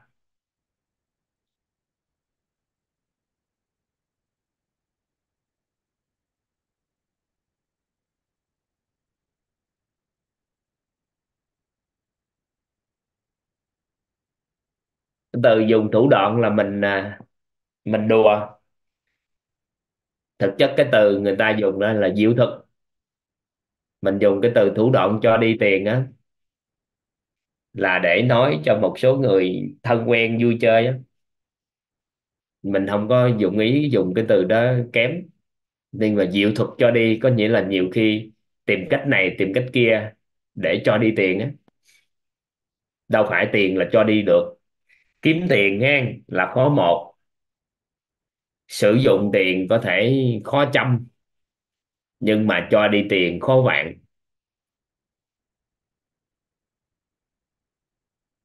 Kiếm tiền là khó một, sử dụng tiền khó trăm, nhưng mà cho đi tiền là khó vạn. Nên nếu chúng ta biết cách sử dụng thu hút biết cách sử dụng và biết cách cho đi được, thì chúng ta sẽ không có bị dính mắc vào vật chất. Vậy thì con người chúng ta nếu sở hữu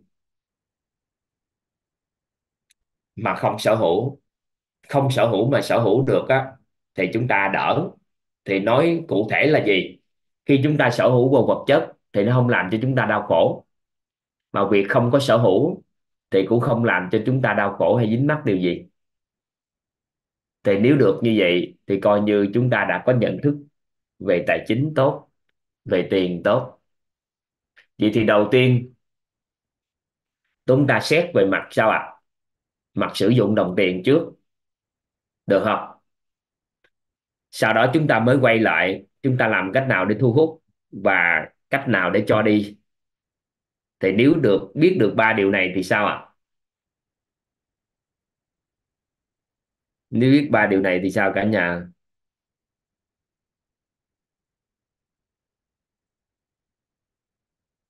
Nếu được ba điều này thì ngon.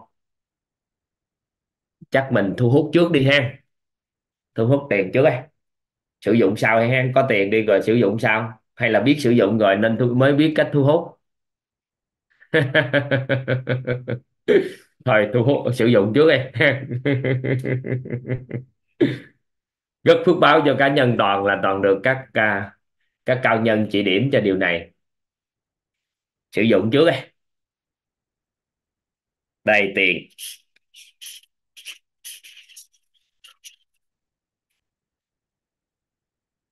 Tiền. Vậy thì mình đặt ra câu hỏi là khi mình có tiền trong tay, mình sẽ làm gì với nó? Hiện tại á, mình á, cá nhân mình á, khi có tiền trong tay mình sẽ làm gì với đồng tiền mình đã có? Cá nhân của mình mình làm gì?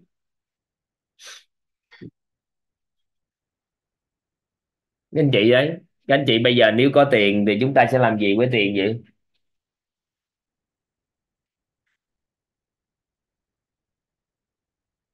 Mỗi người một mục đích gì đâu cái cụ thể mình đi. Mục đích gì cũng được hết trơn á. Các anh chị cụ thể đi. Sử dụng tiền để làm gì? Sử dụng tiền chinh xin tiền á, là không tính nha. Sử dụng tiền chinh tiền không tính tiền ra tiền nó không đại diện. Mua nhà đi du lịch. Nâng cấp bản thân. Bản chất đồng tiền á, cả nhà là giúp cho chúng ta nâng cao chất lượng cuộc sống. Nâng cao chất lượng cuộc sống. Toàn dùng cái này các anh chị thấy phù hợp không? Khi có tiền chúng ta nâng cao chất lượng cuộc sống được không cả nhà? Vậy thì việc các anh chị mua nhà hay là đầu tư cho sức khỏe hay làm bất kỳ điều gì thì để sao ạ? À? để kỳ vọng gần, để mình nâng cao chất lượng cuộc sống. Bất kỳ các anh chị xài đồng tiền nào thì nó không vượt thoát những yếu tố sau. Thứ nhất là các anh chị đầu tư cho sức khỏe của bản thân. Trong đây bao hàm đã sắc đẹp của da, sắc đẹp như thế này nữa là liên quan tới sắc đẹp. Thứ hai là dùng tiền để làm sao cho các anh chị, nội tâm của chúng ta nó an vui, hạnh phúc. Và dùng tiền để nuôi dưỡng mối quan hệ xã hội xung quanh chúng ta. Mối quan hệ xã hội xung quanh chúng ta.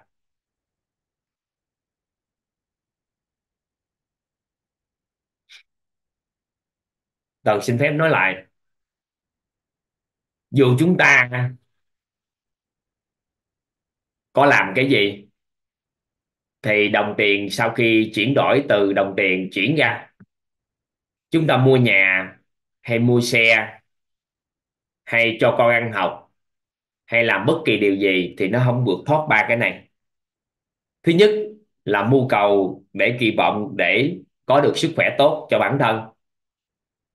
Nội tâm mình an vui hạnh phúc an tâm hơn trong cuộc sống. Mua ngôi nhà để có ở, có an tâm hơn, cảm thấy an yên, tự tin hơn trong cuộc sống, mọi cái là nội tâm mình an vui, hạnh phúc. Và chúng ta tương tác mối quan hệ xã hội để nâng cao chất lượng mối quan hệ xã hội xung quanh bằng cách là giúp cho người thân mình có sức khỏe, giúp cho mọi cái để mình kết nối mối quan hệ xã hội chất lượng. Vậy thì cuối cùng đồng tiền, khi chúng ta có trên tay, nó sẽ được chuyển đổi thành việc nâng cao chất lượng cuộc sống. Vậy thì toàn định nghĩa đơn giản như thế này.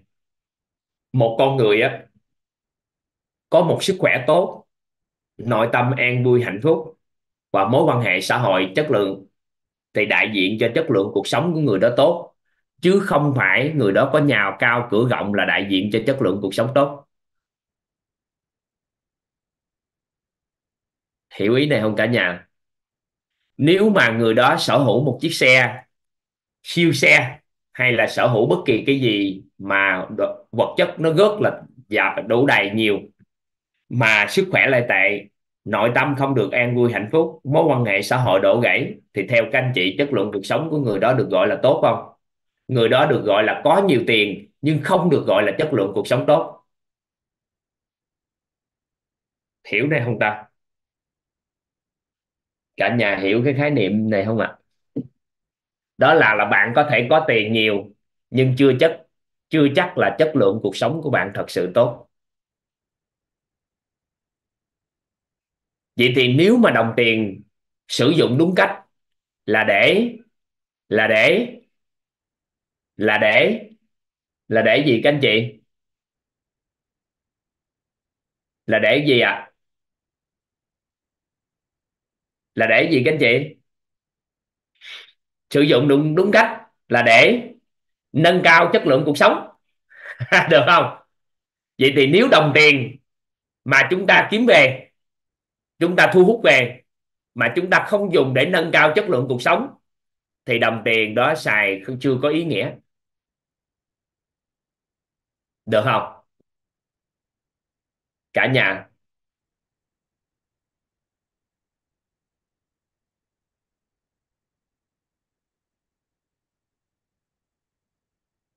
ai cảm thấy trên đời này nếu mình có thiệt là nhiều tiền nhưng sức khỏe không tốt, nếu ai đó có rất nhiều tiền mà sức khỏe không tốt, nội tâm lúc nào cũng bất an, đau khổ, quán trách, chất lượng mối quan hệ xã hội xung quanh thì kém, con người thì không thích ở gần những con người đó, thì theo các anh chị lúc đó có tiền nhiều, có ý nghĩa gì không? Cả nhà.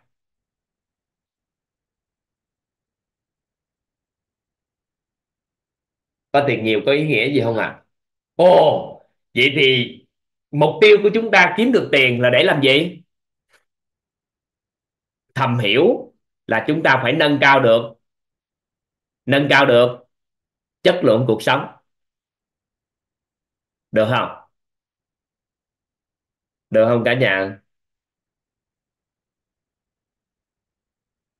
Cả nhà hiểu dụng ý toàn chia sẻ chỗ này đó là kiếm nhiều tiền để sử dụng, tiền để nâng cao chất lượng cuộc sống. Nhưng đâu đó, có những người cũng có tiền, nhưng họ không có nhận thức là đồng tiền để nâng cao chất lượng cuộc sống. Nên họ đã chọn giải pháp lấy sức khỏe của mình để đổi tiền, bán luôn các mối quan hệ để làm sao có được tài chính và làm những việc làm mà đảm bảo rằng cả cuộc đời này nội tâm cũng không an yên hạnh phúc được để đổi lấy số tiền có. Có những chuyện đó xảy ra trong xã hội không? Cả nhà. Cả nhà, có chuyện đó không? Có. Vậy thì khi chuyện đó xảy ra, vậy thì người đó sở hữu đồng tiền. Xong rồi muốn quy đổi lại thành sức khỏe tốt, nội tâm an yên, hạnh phúc và mối quan hệ xã hội chất lượng thì còn kịp hay không? Theo các anh chị. Theo các anh chị, đổi lại khả năng, đổi lại nổi không? Có thể có một ai đó phước báo gì đó đổi lại được. Nhưng đâu đó đa phần là đổi lại không được. Nếu mất đi sức khỏe, mất đi sự an vui của nội tâm và mối quan hệ xã hội gãy rồi thì có thể đổi không được.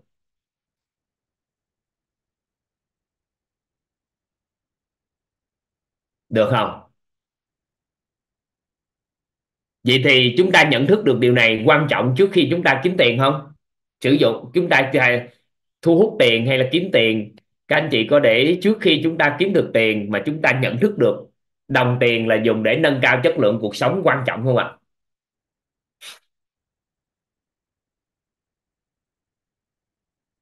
Quan trọng hơn cả nhà. Quan trọng. Nên chúc mừng các anh chị.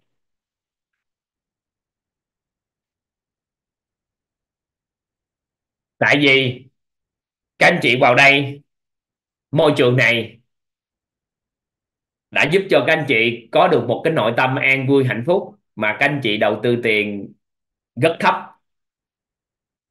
Đúng không? Có phải các anh chị vào đây học tập đầu tư tiền để có được sự an vui hạnh phúc nội tâm rất thấp không? Bằng phí tỳ tâm của các anh chị. Bằng các anh chị tiêu tốn điện tiêu tốn à, những cái gì đó để học online. Sau đó nếu thuận duyên các anh chị thấy môi trường chúng ta tạo điều kiện cho các anh chị sức khỏe tốt không? Cả nhà bên cạnh đó, chất lượng mối quan hệ xã hội của chúng ta thay đổi khi mà chúng ta đến với môi trường này. Có để ý cái này nhiều không? Ai mà học nhiều lần và để những người mới luôn, có phải 21 buổi qua 20 buổi qua, các anh chị đã thay đổi đổi được cái chất lượng mối quan hệ cao không? Các anh chị, tự nhiên nó đổi không? Thế đổi không 21 ngày qua chất lượng mối quan hệ đổi không? Đổi. Ồ, vậy thì các anh chị đã giàu rồi đó. Và toàn chúc mừng các anh chị lần nữa. Bởi vì chúng ta đủ đầy trước khi chúng ta có tiền. Một con người mà sức khỏe tốt, nội tâm an vui và hạnh phúc, mối quan hệ xã hội chất lượng xung quanh. Thì họ có một cái trạng thái rất là đủ đầy trước khi họ họ thu hút được tài chính. Đây là một cái trạng thái rất quan trọng của một người kiếm nhiều tiền và bền vững. Toàn xin phép nói lại, cái trạng thái đủ đầy của một con người đến từ việc họ an vui, hạnh phúc của nội tâm. Họ có sức khỏe tốt và mối quan hệ xã hội chất lượng. Nó là một cái trạng thái đủ đầy mà đây là trạng thái của những con người kiếm được nhiều tiền và bền vững. Tại vì họ không dùng tiền để đổi những cái điều mà mặc định không cần quá nhiều tiền để có thể làm được.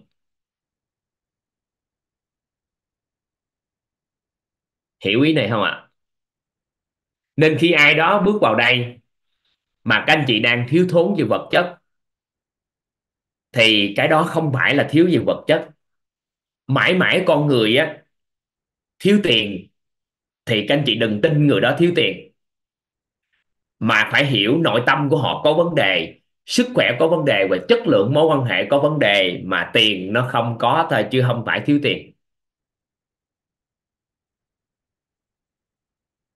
Mãi mãi trong nhân loại này, vĩnh cửu con người không bao giờ thiếu vật chất chỉ vấn đề nằm ở nội tâm của họ, sức khỏe của họ mà mối quan hệ xã hội của họ mà dẫn đến họ không có khả năng được cái này. Đừng bao giờ, đừng bao giờ tin là người ta nghèo vật chất. Ai ở đây nhìn nhận lại giúp toàn. Nếu một con người có nội tâm an vui hạnh phúc, sức khỏe rất tốt và chất lượng mối quan hệ xã hội tốt, thì các anh chị nghĩ cơ hội để chúng ta đủ đầy về vật chất và giàu có thịnh vượng cao không? Cả nhà. Cả nhà.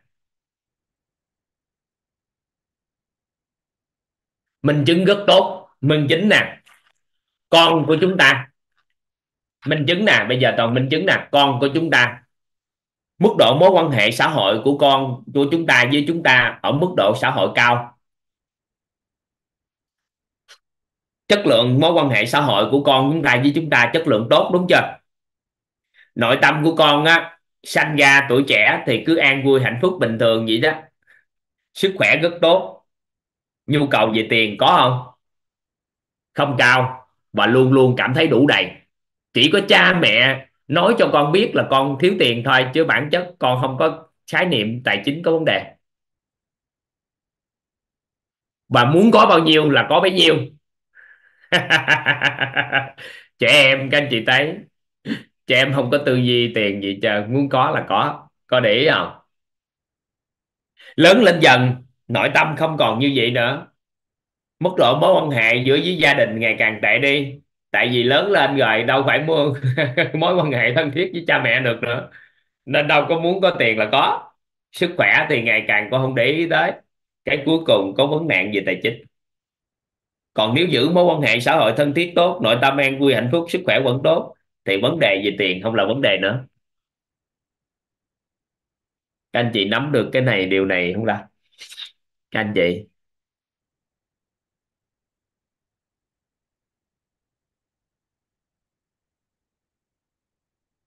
Các anh chị hiểu ý toàn vừa chia sẻ ha. Vậy thì nếu ai đó với chúng ta, nói với chúng ta rằng họ thiếu tiền họ nghèo, về vật chất, thiếu tiền, thiếu bạc. Thì mình đánh giá không phải họ thiếu tiền, thiếu bạc, mà là chất lượng mối quan hệ xã hội của họ vấn đề nằm ở chuyện nhân cách họ làm sao, phẩm chất họ thế nào, tâm thái họ làm sao, trí tuệ họ thế nào, nội tâm của họ có an vui hạnh phúc không, sức khỏe của họ thế nào, sức khỏe tinh thần, sức khỏe xã hội làm sao và sức khỏe thể chất thế nào? Chứ vấn đề không phải nằm ở gì à nằm ở thiếu tiền. Hiểu không ta? Đừng có tin người ta thiếu tiền. Rằng là họ chất lượng mối quan hệ của họ có vấn đề. Chất lượng mối quan hệ có vấn đề nằm ở chuyện phẩm chất họ ra sao, nhân cách họ thế nào, tâm thái họ ra sao và trí tuệ họ thế nào chứ nếu họ có nhân cách ok, có phẩm chất ok, thì mối quan hệ xã hội tâm thái, an vui, bao dung và trân trọng biết ơn, mang đến vui vẻ, hy vọng, niềm tin, trí tuệ, trân trọng biết ơn, yêu thương, bao dung, khiêm tốn, chân thật và sống có nhân lễ nghĩa, chí tính với con người. Thì các anh chị nghĩ cơ hội làm ăn và cơ hội kiếm tài chính, các anh chị nghĩ sao? Các anh chị, các anh chị nghĩ cơ hội đó có không? Có vậy thì việc một người thiếu tài chính, các anh chị xét về yếu tố sức khỏe, xét về yếu tố nội tâm, có an vui, hạnh phúc không? Nếu yếu tố nội tâm họ giữ được sự an vui, hạnh phúc trong nội tâm, sau đó xét về mức độ mối quan hệ, xét về trí tuệ tâm thái nhân cách phẩm chất của người đó, thì nếu mà có được thì vấn đề về tài chính không là vấn đề nữa. Được không? Cả nhà.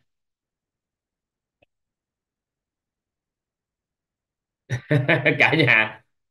Vậy thì một người lại than với chúng ta rằng là họ nghèo vật chất. Thì các anh chị tin không? Các anh chị? Các anh chị nên tin không? Không tin. Đừng tin. Tại vì mình tin thì mình có giúp họ về tiền cũng không có ý nghĩa gì.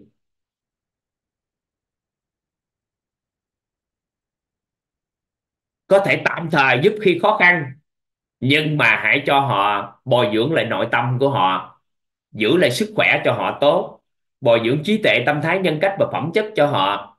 Để chi? Để họ ăn ở, sau đó phù hợp, thì từ đó tài chính nó sẽ tự đổi. Vậy thì gián tiếp, chúng ta hỗ trợ cho con người chất lượng cuộc sống tốt, chứ không phải chúng ta giúp cho con người về tiền.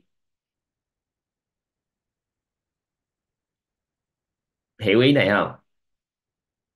Vậy thì nếu ai đó hiện tại biết cách sử dụng đồng tiền cho con mình là để cho con mình có chất lượng cuộc sống tốt. Dùng tiền để làm sao cho con khỏe mạnh. Dùng tiền để bồi dưỡng trí tuệ tâm thái nhân cách phẩm chất và năng lực của con. Dùng tiền để làm sao cho con có được sự an vui, hạnh phúc, an tâm gì đó mọi cái. Thì nếu dùng vậy thì toàn nghĩ toàn nói các anh chị đang dùng tiền có ý nghĩa đối với con cái chúng ta. Được không? Sử dụng đồng tiền á, mình sử dụng như vậy là sử dụng có ý nghĩa. Vậy thì nhận thức đầu tiên về mặt vật chất thì chúng ta hãy nhớ, đó là sau khi chúng ta có tiền, có vật chất thì nó sẽ được quy đổi thành chất lượng cuộc sống. Thì lúc đó chúng ta mới ngon. Vậy thì khi một con người có chất lượng cuộc sống tốt rồi thì theo các anh chị, lúc đó khả năng chúng ta dư tiền có không?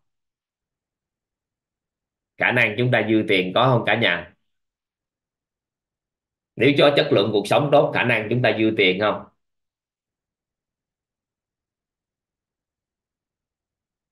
Ngon. Chúc mừng các anh chị. Vậy thì việc các anh chị vào quyết học tập. Quyết không trực tiếp hỗ trợ cho các anh chị về mặt vật chất. Nhưng đã làm gì cho các anh chị, các anh chị? Gián tiếp cho các anh chị có cuộc sống đủ đầy. Hiểu ý này không ta? Các anh chị tham gia vào môi trường này, chúng tôi có thể không trực tiếp cho các anh chị về tiền hay vật chất, nhưng chúng tôi đã gián tiếp cho các anh chị có cuộc sống đủ đầy. Và đó là cái tâm nguyện của toàn trong quá trình hỗ trợ cộng đồng. Đó là chúng ta đủ đầy trước khi chúng ta sao ạ? à? Chúng ta giàu có và thịnh vượng, chúng ta thịnh vượng. Gián tiếp cho các anh chị cuộc sống đủ đầy, nếu các anh chị tham gia vào môi trường này.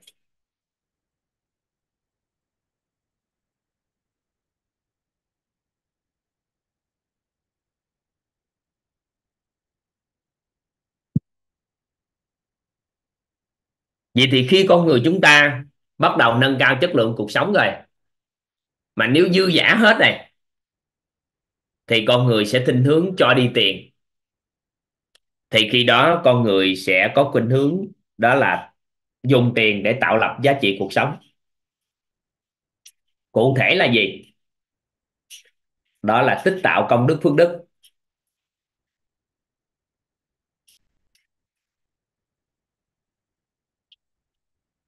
Dùng tiền để tạo lập giá trị cuộc sống.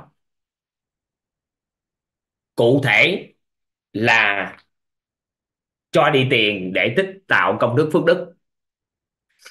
Tại vì nếu chúng ta hiểu được kiến thức vũ trụ quan rằng con người mình á, sau khi mất thân này thì chỉ có thể đem theo tổng nghiệp và khối công đức phước đức và ác đức. Theo góc nhìn của cấu trúc con người hôm trước, có phải sau khi mất thân thì chúng ta chỉ có thể mang theo tổng nghiệp và khối công đức, phước đức, ác đức không cả nhà? Cả nhà. Các anh chị nhớ không? Nhớ bài không? Nhớ bài là sau khi con người chúng ta, nếu có mất thân này, thì chúng ta mang theo sao ạ? À?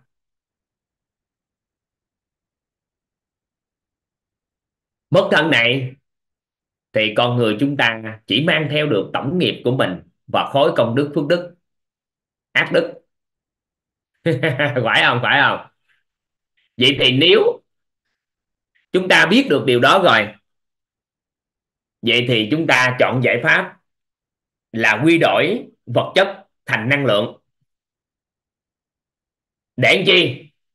Để ai đó tin vào đời sau rằng chúng ta có thể tiếp tục sống tốt á thì chúng ta lấy cái đó ra đổi lại thành vật chất lại. Hiểu này không ta? Các anh chị hiểu ý này không? Có nghĩa là bây giờ mình đâu có đang theo được đâu. Bây giờ nè, xài tiền mà. Bây giờ mình xài nâng cao chất lượng cuộc sống tối đa rồi. Sau đó bây giờ có tiền. Thì bây giờ mình làm gì? Bây giờ mình cũng mất thân này cũng đâu có mang đi được. Rồi, tôi tạo lập giá trị cuộc sống để làm gì? Đổi thành năng lượng, ẩn vô lại. Thay vì nó là vật chất, tôi đổi thành năng lượng. Được không? Đổi thành năng lượng, ẩn vô lại. Để sau đó, từ năng lượng công đức phước đức với tổng nghiệp đó đó, nhờ khối công đức phước đức nó kích hoạt tổng nghiệp quả, nghiệp duyên, nghiệp thức tốt lại. Quay trở ngược lại sao à? Nếu ai tin vào con đường luân hồi nghe. Các anh chị quay lại đổi ra vật chất xài tiếp còn nếu ai đi theo con đường tôn giáo tín ngưỡng, nếu theo nhà Phật, thì tích tạo công đức để đi về cõi vô sanh, không còn con đường luân hồi nữa. Còn không có làm phước để đi lên trên hưởng quả, thì đều có lợi hết nếu theo cái kiến thức của vũ trụ quan mà các cao nhân chỉ điểm cho chúng ta. Vậy thì việc cho đi tiền đúng nhất, đó là cho đi đồng tiền để các anh chị tích tạo tích tạo công đức phước đức vậy thì người nào có càng nhiều tiền, họ xây dựng được cổ máy công đức phước đức, thì cái người đó sẽ dùng tiền đúng, cho đi tiền đúng cách. Hay, hiểu không? Hiểu ý này không? Anh chị về hiểu dụng ý của cái cái cái này không?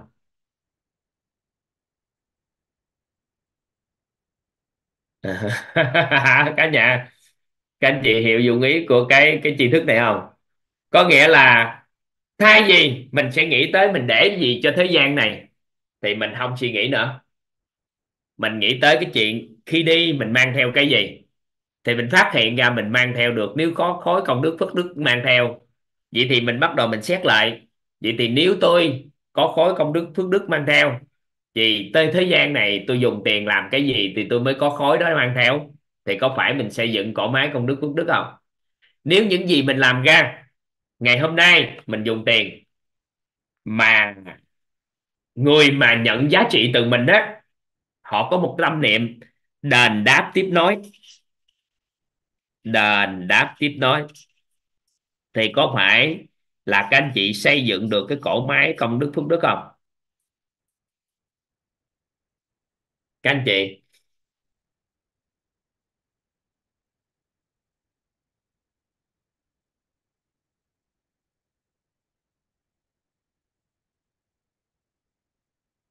nếu bây giờ, ngày hôm nay, các anh chị chỉ cần giúp đỡ toàn điều này thôi. Việc các anh chị tri ân gì đó với toàn thì toàn xin phép các anh chị, toàn không phải từ chối, mà toàn nghĩ là không nên nhận. Nếu các anh chị nhận được giá trị từ quyết, thì việc các anh chị bằng cách là các anh chị phí tỳ tâm để đền đáp tiếp nối cho những người sau người ta được học tập. Các anh chị học được tri thức, các anh chị lấy tri thức lan tỏa cho những người khác thì có phải thuận duyên quyết cũng tích được một phần nào đó công đức phước đức không?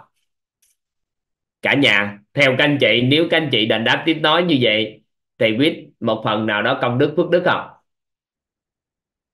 Cả nhà, nè, mentor, master, học xong các họ lấy tri thức này, họ giúp cho anh ta nâng nhận thức nội tâm lên tầng bậc 3 họ hỗ trợ cho con người có cuộc sống an vui, hạnh phúc và giàu toàn diện sau đó người đó lan nữa lan nữa lan nữa. Thì theo các anh chị, có phải chúng ta đã dùng tiền cho việc tích tạo xây dựng cổ máy công đức phước đức không? Đó là bằng cách tặng học bổng cho các mentor mentor master, tặng học bổng cho các danh chủ. Là kỳ vọng họ làm một điều thôi. Đó là họ lên đáp tiếp nói, nhận giá trị thì tiếp quay ra. Hoặc là toàn đài thọ cho các anh chị thạc sĩ hạnh phúc. Họ học tập, toàn chỉ kỳ vọng sau này khi cuộc sống của họ tốt họ nghĩ đến việc đài thọ cho ba người thôi, hoặc là một, hai người nữa để học được thạc sĩ hạnh phúc, tiến sĩ nhân sinh như họ thôi. Thì có phải như vậy là chúng ta tạo ra một cái hiệu ứng xã hội rất đặc biệt không? Cả nhà. Hiểu nào không ta. Các anh chị hiểu ý nào? Dùng tiền để làm được điều đó có nghĩa là chúng ta đang cho đi tiền. Đúng cách đó là cho tạo ra được giá trị. Không nhất thiết họ phải đáp trả lại cho chúng ta, bởi vì chất lượng cuộc sống mình dần dần tốt rồi, thì họ chỉ cần đền đáp tiếp nối là được.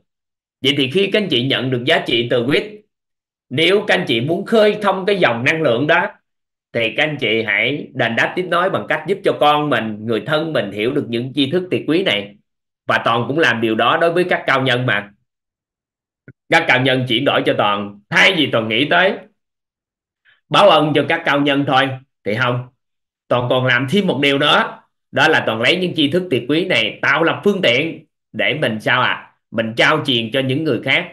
Và toàn tạo lập phương tiện những người khác tiếp tục trao truyền cho thế hệ sau nữa.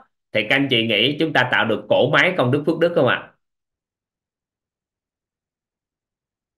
được không cả nhà? Các anh chị hiểu ý này không? vậy thì ai mà dùng tiền làm được điều đó đó là người đó biết cách cho đi tiền để tạo lập giá trị cuộc sống. Tại vì ngày hôm nay mình nhận một điều nào đó, mình có một tâm niệm trao lại cho người khác, thì xã hội theo các anh chị gì đó mà tốt lên không? Các anh chị, ngày hôm nay mình nhận giá trị gì đó của ai mà mình có một tâm niệm trao lại giá trị đó cho người khác và cũng không yêu cầu người đó trả lại cho chúng ta? Các anh chị cứ hình dung như thế này. Nước á nước chúng ta nước từ từ nguồn từ nguồn chảy xuống. Từ thác á, là chảy xuống. Sau đó qua nhiều con sông. Và có phải tới biển không? Tới biển.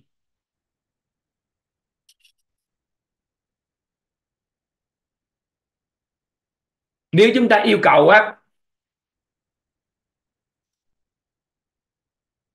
nếu chúng ta yêu cầu, biển nó phải trả lại nguồn nước lại cho nguồn, thì có phải nước này nó bị lợ đi và mặn đi không cả nhà cả nhà, nếu chúng ta yêu cầu nước phải trở lại trả lại thành cho nguồn, thì nước này sẽ sao ạ à? mặn đi nhưng mà nếu chúng ta không yêu cầu đó, thì nước, biển nó sẽ có cách làm riêng của nó.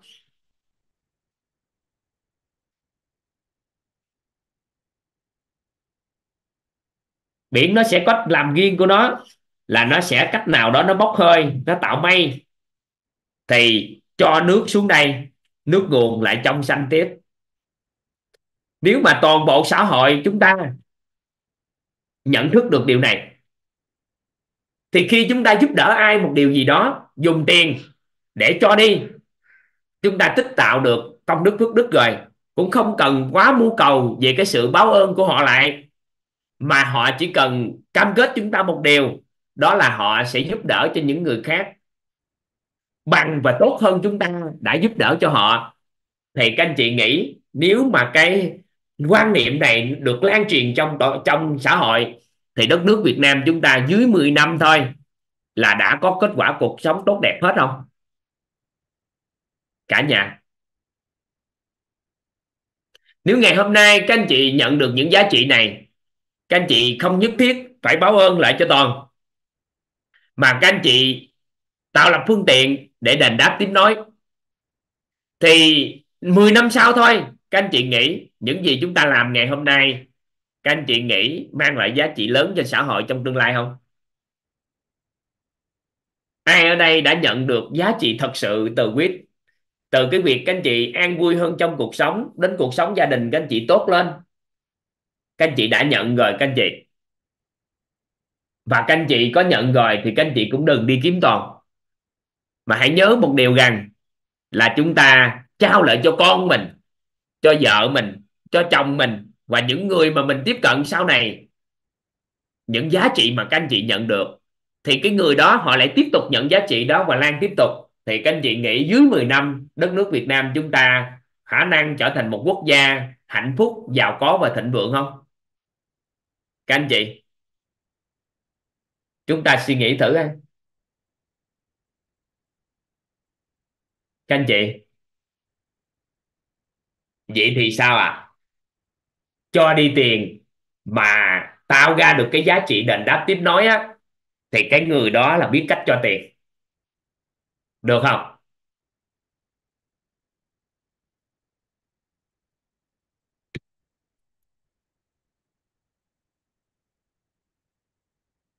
Các anh chị nắm được ý toàn nói ha.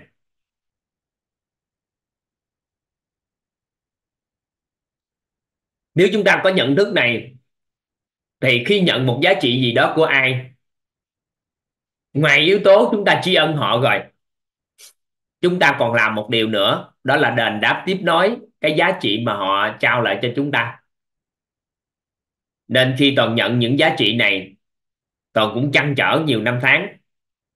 Mình phải làm sao tạo lập phương tiện để có thể trao giá trị này? Và từ từ từ từ thì toàn cũng có một cơ hội để tạo, thành lập ra tổ chức đào tạo WIT tổ chức quyết để tạo lập phương tiện để hỗ trợ cho tất cả các anh chị. Và đâu đó một số anh chị đã nhận giá trị, lại tiếp tục định đáp tiếp nối nữa. Thì qua thời gian, các anh chị thấy giá trị xã hội chúng ta tạo lập. Nếu khéo, có khoảng 10 năm, những gì mà chúng ta lan tỏa có thể rằng nhiều con người sẽ có cuộc sống an vui, hạnh phúc và sức khỏe tốt hơn rất nhiều các anh chị có tự tin là có khoảng 10 năm nữa, đất nước của chúng ta sẽ nhận được những giá trị mà ngày hôm nay nếu chúng ta có tâm niệm đền đáp tiếp nối không ạ?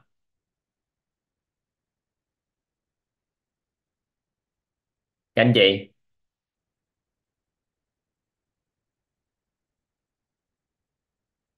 Được không? Nếu được này thì được không? Vậy thì ai đó nhận được giá trị này thì các anh chị tiến hành đền đáp tiếng nói thôi là được. Đó là, vậy thì khi chất lượng cuộc sống tốt, giá trị cuộc sống tạo lập được tốt, công đức, phước đức nó được tích lũy, thì theo các anh chị, tiền nó tiếp tục, vật chất nó tiếp tục tụ về chúng ta không cả nhà. Các anh chị, khi chất lượng cuộc sống tốt công đức phước đức chúng ta tạo lập, thì tiền có khả năng tiếp tục tụ hơn về chúng ta nữa không? Tiếp tục tụ hơn về. Sau đó tiếp tục chúng ta nâng cao chất lượng cuộc sống tiếp, tạo lập giá trị cuộc sống tiếp. Và cứ như vậy tiền tụ về tụ về tụ về tụ về, cái bắt đầu chuyển, tụ chuyển tụ chuyển tụ chuyển, thì tạo nên một cái dòng năng lượng rất đặc biệt của phước báo. Và nếu ai sống trong một cái nguồn của dòng năng lượng này, thì các anh chị sẽ hưởng lợi từ nó và chính con cái chúng ta sẽ hưởng giá trị từ nguồn này.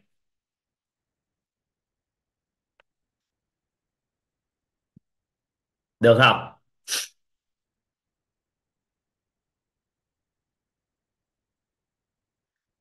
Nhận thức này xác lập được không cả nhà? Nhận thức này xác lập trong tâm trí chúng ta được không?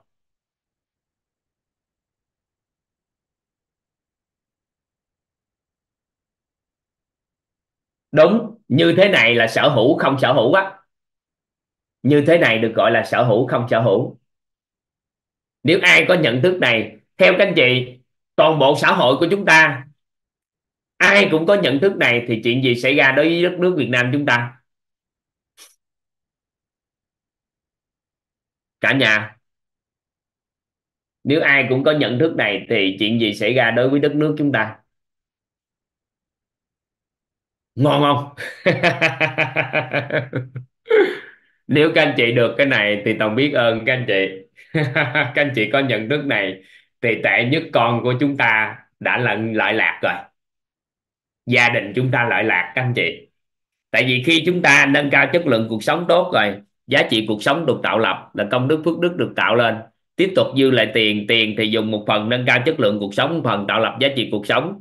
Cứ như vậy, cứ như vậy nâng lên suốt suốt suốt suốt cứ như vậy suốt trong hết phần đời còn lại của mình. Và cuối đời của mình thì tạo lập mọi phương tiện để tạo lập giá trị cuộc sống. Bởi vì chúng ta lúc đó không còn nâng chất lượng cuộc sống nữa. Được không?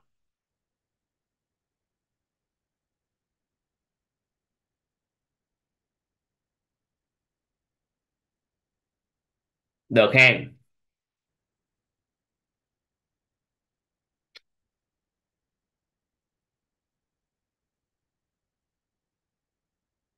Được ha được nghe cả nhà. Xác lập nhận thức này nghe, các anh chị giúp đỡ toàn. Các anh chị giúp toàn. Các anh chị đánh lên nói tôi có nhận thức này rồi. Để cho toàn à, nhìn lên trên tin nhắn cái. Để cho các anh chị giúp đỡ toàn là các anh chị nói tôi đã có nhận thức này rồi. Tại vì có nhận thức thì có gì à có nhận thức thì có hiện thực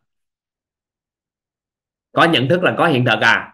Vậy thì khi chúng ta có nhận thức này, vậy thì tiền về chúng ta chúng ta chất, nâng cao chất lượng cuộc sống và tạo lập giá trị cuộc sống, xây dựng cỗ máy công đức phước đức. Và những con người nhận giá trị của chúng ta, họ cứ đền đáp tiếp nối lan tỏa. Nên là những người xung quanh đó các mentor, master, toàn có nói với họ một câu. Đó là đừng nghĩ tới cái chuyện báo ơn toàn. Tại vì cho toàn kích tạo công đức phước đức đi, nghĩ tới cái báo ơn cái thì toàn sao, toàn tích được trong khi đó phúc tác tạo tích đủ, thì mới nảy trội phúc phận. Mới vừa hỗ trợ hơi hơi là các anh chị nghĩ đến đây báo ơn mà báo ơn cái thì toàn xài phước rồi. Thì cho toàn một cái cơ hội là gì? Chất lượng cuộc sống toàn tốt thôi. Còn lại, các anh chị cứ đền đáp tiếp nói đi. Khi đền đáp tiếp nói ra một thời gian thì chúng ta tạo thành một cái cổ máy. Thì chúng ta sẽ có một cái nguồn công đức phước đức sao à tự động. Các anh chị hiểu không? Khi công đức phước đức tự động thì sao? Thì tự nhiên cái chúng ta lại thuận lợi hơn trong cái việc, trong cái cuộc sống và từ đó trở đi vận hành cái cỗ máy này. Được không? Được không? Được không?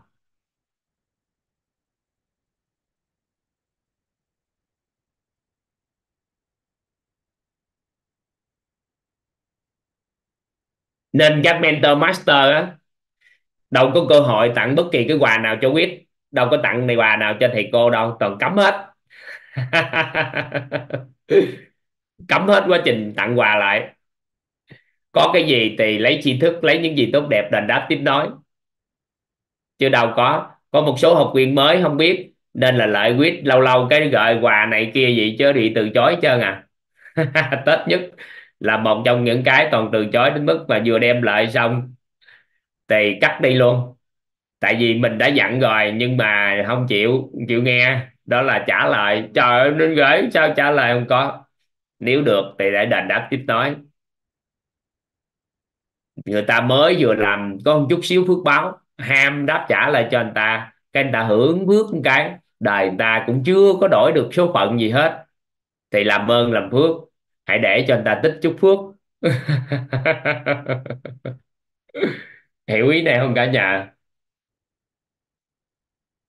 Các anh chị hiểu ý này không ạ? À?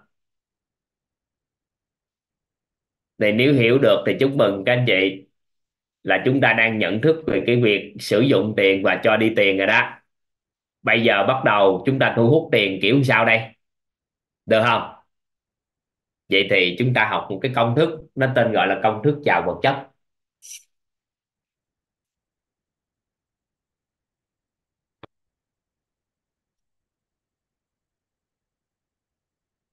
Được gọi là công thức giàu vật chất.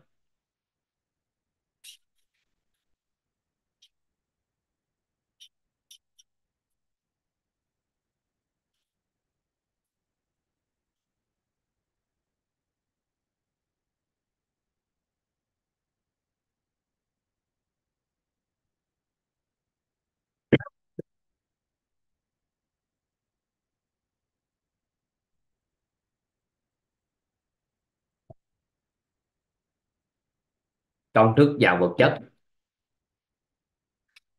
Đầu tiên các anh chị giúp đỡ toàn. Đó là bước một á, là chúng ta phi vật chất bản thân.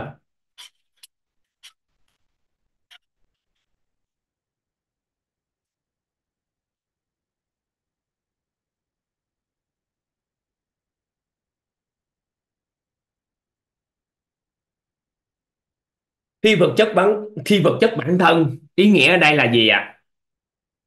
đó là chúng ta làm giàu. Làm giàu. Làm giàu. Trí tuệ. Tâm thái. Nhân cách. Và phẩm chất. Các anh chị ghi chú vô. Giúp toàn. Làm giàu trí tuệ. Tâm thái. Nhân cách và phẩm chất. Có thể một buổi đầu tiên này, một lớp học, một lần đầu tiên 21 buổi này, các anh chị có nhận thức về trí tuệ, có nhận thức về tâm thái, có nhận thức về nhân cách, có nhận thức về phẩm chất một phần nào. Một vài buổi nữa, vài lần học nữa, các anh chị sẽ quản trị được trí tuệ, luân chuyển được trạng thái, nhận thức nội tâm phù hợp. Các anh chị quản trị được tâm thái quản trị được nhân cách và quản trị được phẩm chất. Và từ từ các anh chị sẽ phi vật chất bản thân mình được. Thì theo các anh chị, trước khi một con người mà trước khi có thật là nhiều tiền, nên làm giàu phi vật chất trước không? Ai ở tự tin trong tương lai mình có rất nhiều tiền không? Ai ở đây có một cái tự tin là trong tương lai mình sẽ có rất nhiều tiền không? Nếu ai có niềm tin đó, thì ngay tức khắc nhanh chóng phi vật chất bản thân. Tại vì một con người mà có quá nhiều tiền, mà trí tuệ có vấn đề, tâm thái có vấn đề, nhân cách có vấn đề và phẩm chất có vấn đề thì cực kỳ nguy hiểm cho xã hội. Hiểu ý này không cả nhà? Hiểu ý này không? Cả nhà cả nhà hiểu ý toàn vừa chia sẻ không? Bây giờ mình tự tin là trong tương lai mình có rất nhiều tiền. Vậy thì đừng để chúng ta trong tương lai chỉ có tiền. Chúng ta phải nhanh chóng làm gì? Làm giàu trí tuệ, làm giàu tâm thái, làm giàu nhân cách và làm giàu phẩm chất. Để trong tương lai chúng ta tranh thủ cái thời gian đó, chúng ta hưởng thụ được cái giá trị của việc tài chính mang lại giá trị gì? Nên việc đầu tiên để một con người có làm giàu vật chất thực thụ, đó là người đó thi vật chất bản thân. Được không? Bước hai. Thay vì trước đây, toàn nói với các anh chị là rèn luyện thể chất, thì toàn ngày hôm nay chúng ta xác lập luôn. Đó là chúng ta làm giàu thể chất làm giàu thể chất bằng cách là thể chất của con người có năm yếu tố quyết định. Đó là sức mạnh của họ.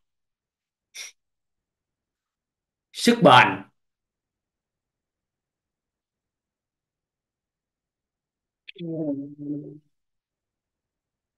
Dẻo dai. Thăng bằng.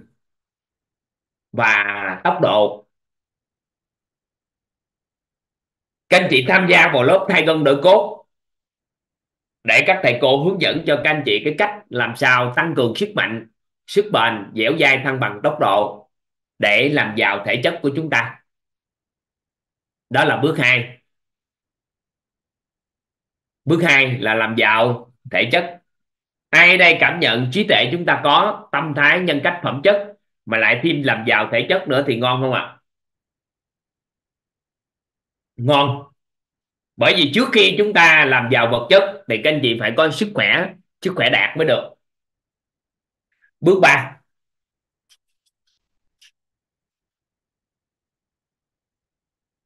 Đó là chúng ta nâng cao.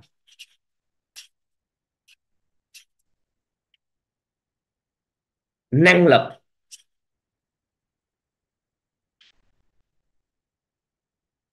Chúng ta nâng cao năng lực quảng bá.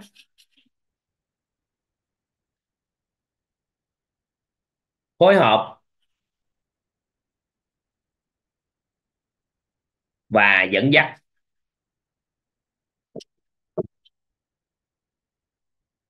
Chúng ta nâng cao năng lực quảng bá, phối hợp và dẫn dắt. Đây là năng lực nền tảng để giúp cho con người có thể trở nên giàu có tiền tài chính của một con người á, nó lệ thuộc vào giá trị, số lượng và chất lượng con người nhận giá trị của chúng ta mà nó quyết định cái tài chính của mình. Vậy thì việc chúng ta có năng lực quảng bá sản phẩm dịch vụ mà chúng ta có được là điều kiện rất quan trọng để chúng ta có thể giàu được về vật chất. Toàn không nói là các anh chị có năng lực kinh doanh mua bán, mà chúng ta có năng lực quảng bá. Có nghĩa là khi các anh chị trải nghiệm một sản phẩm dịch vụ nào, các anh chị rất là trân trọng biết ơn đó vì mang lại giá trị cho chúng ta. Chúng ta học cái cách vẽ một bức tranh lợi ích về nó nhắc đi, nhắc lại với người khác với một nguồn năng lượng rất là trân trọng biết ơn điều chúng ta quảng bá.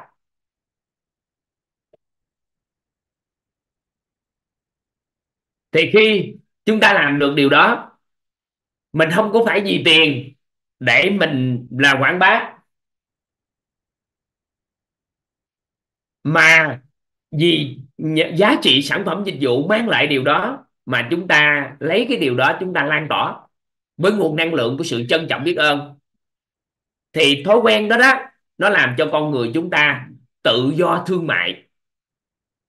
Có nghĩa là mình không có buôn bán, nhưng mà mình lại thấy chất lượng sản phẩm nó đạt, sản phẩm dịch vụ nó tốt.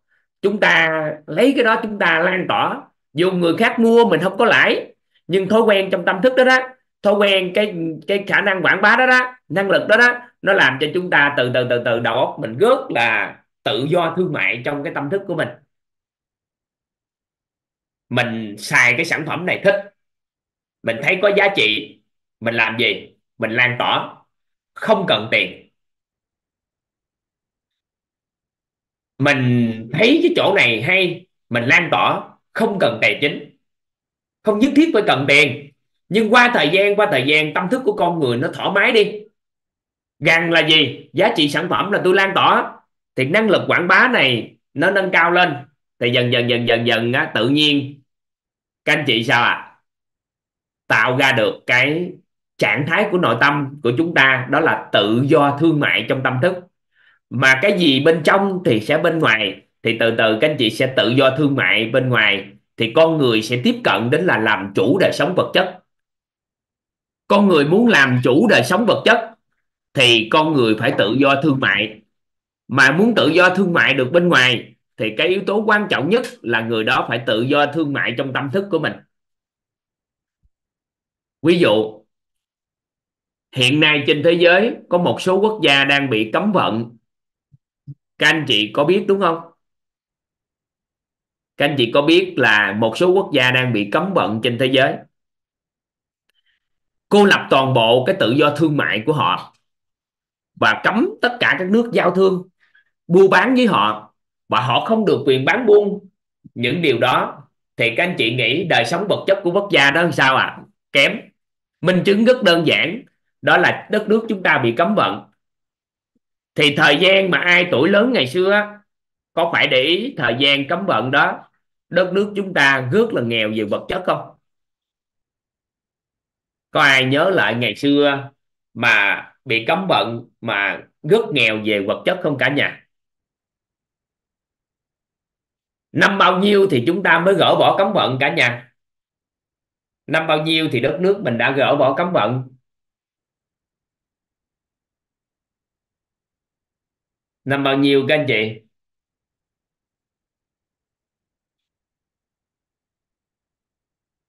Năm 95 96 gì đó mới kết thúc cấm vận. Bước qua năm 96 mới kết thúc cấm vận. Còn hết 86 là chúng ta hết cái cái cái bao cấp. Các anh chị kiểm tra lại giúp toàn thử anh hình như hết năm 96 chúng ta mới hết cấm vận. Hay chín mấy? Thời điểm đó toàn cũng còn nhỏ nhưng mà toàn cũng nghe thông tin. Các anh chị kiểm tra lại giúp toàn tử ăn năm chín mấy? Kết thúc hoàn toàn luôn đó nghe. Năm 94 hả? Năm 94 Mỹ bình thường hóa mối quan hệ với chúng ta hả? Vậy thì khoảng đó, khoảng năm đó đó, thì bắt đầu từ từ từ từ gỡ bỏ được hết cái đó. Thì dần dần dần dần đất nước chúng ta mua bán đồ này kia, giao thương tự do. Nhưng mà hiện tại đất nước chúng ta cũng không được bán tự do, các anh chị có biết không? Các anh chị, các anh chị, đất nước chúng ta không được bán tự do nhiều cái, các anh chị có biết không ạ? À? nên là chúng ta, vậy thì đất nước Mỹ có phải là một trong những quốc gia tự do thương mại hầu như muốn bán gì bán trên thế giới này không? nên tự do được thương mại như vậy, nên về vật chất họ sao ạ à? chúng ta nội các anh chị thấy mình đâu phải muốn nhập thực phẩm qua quốc gia nào là nhập đâu nên chúng ta mở được tự do thương mại thật sự, thì chúng ta mới có thể làm chủ đời sống vật chất các anh chị đâu có biết thực phẩm của mình đâu phải muốn nhập qua quốc gia nào nhập, đúng không ạ à? Phải có sự kiểm soát rất là mạnh mẽ, chứ đâu phải muốn ai muốn nhập thì nhập. Nếu chúng ta tự do nhập, thương mại của chúng ta tự do nhập, thật sự tự do nhập, về thực phẩm, trái cây, rồi tất cả nông nghiệp, chúng ta tự do nhập các nước tiên tiến một cách rất tự do, thì theo các anh chị đời sống người dân chúng ta thay đổi không? Cả nhà.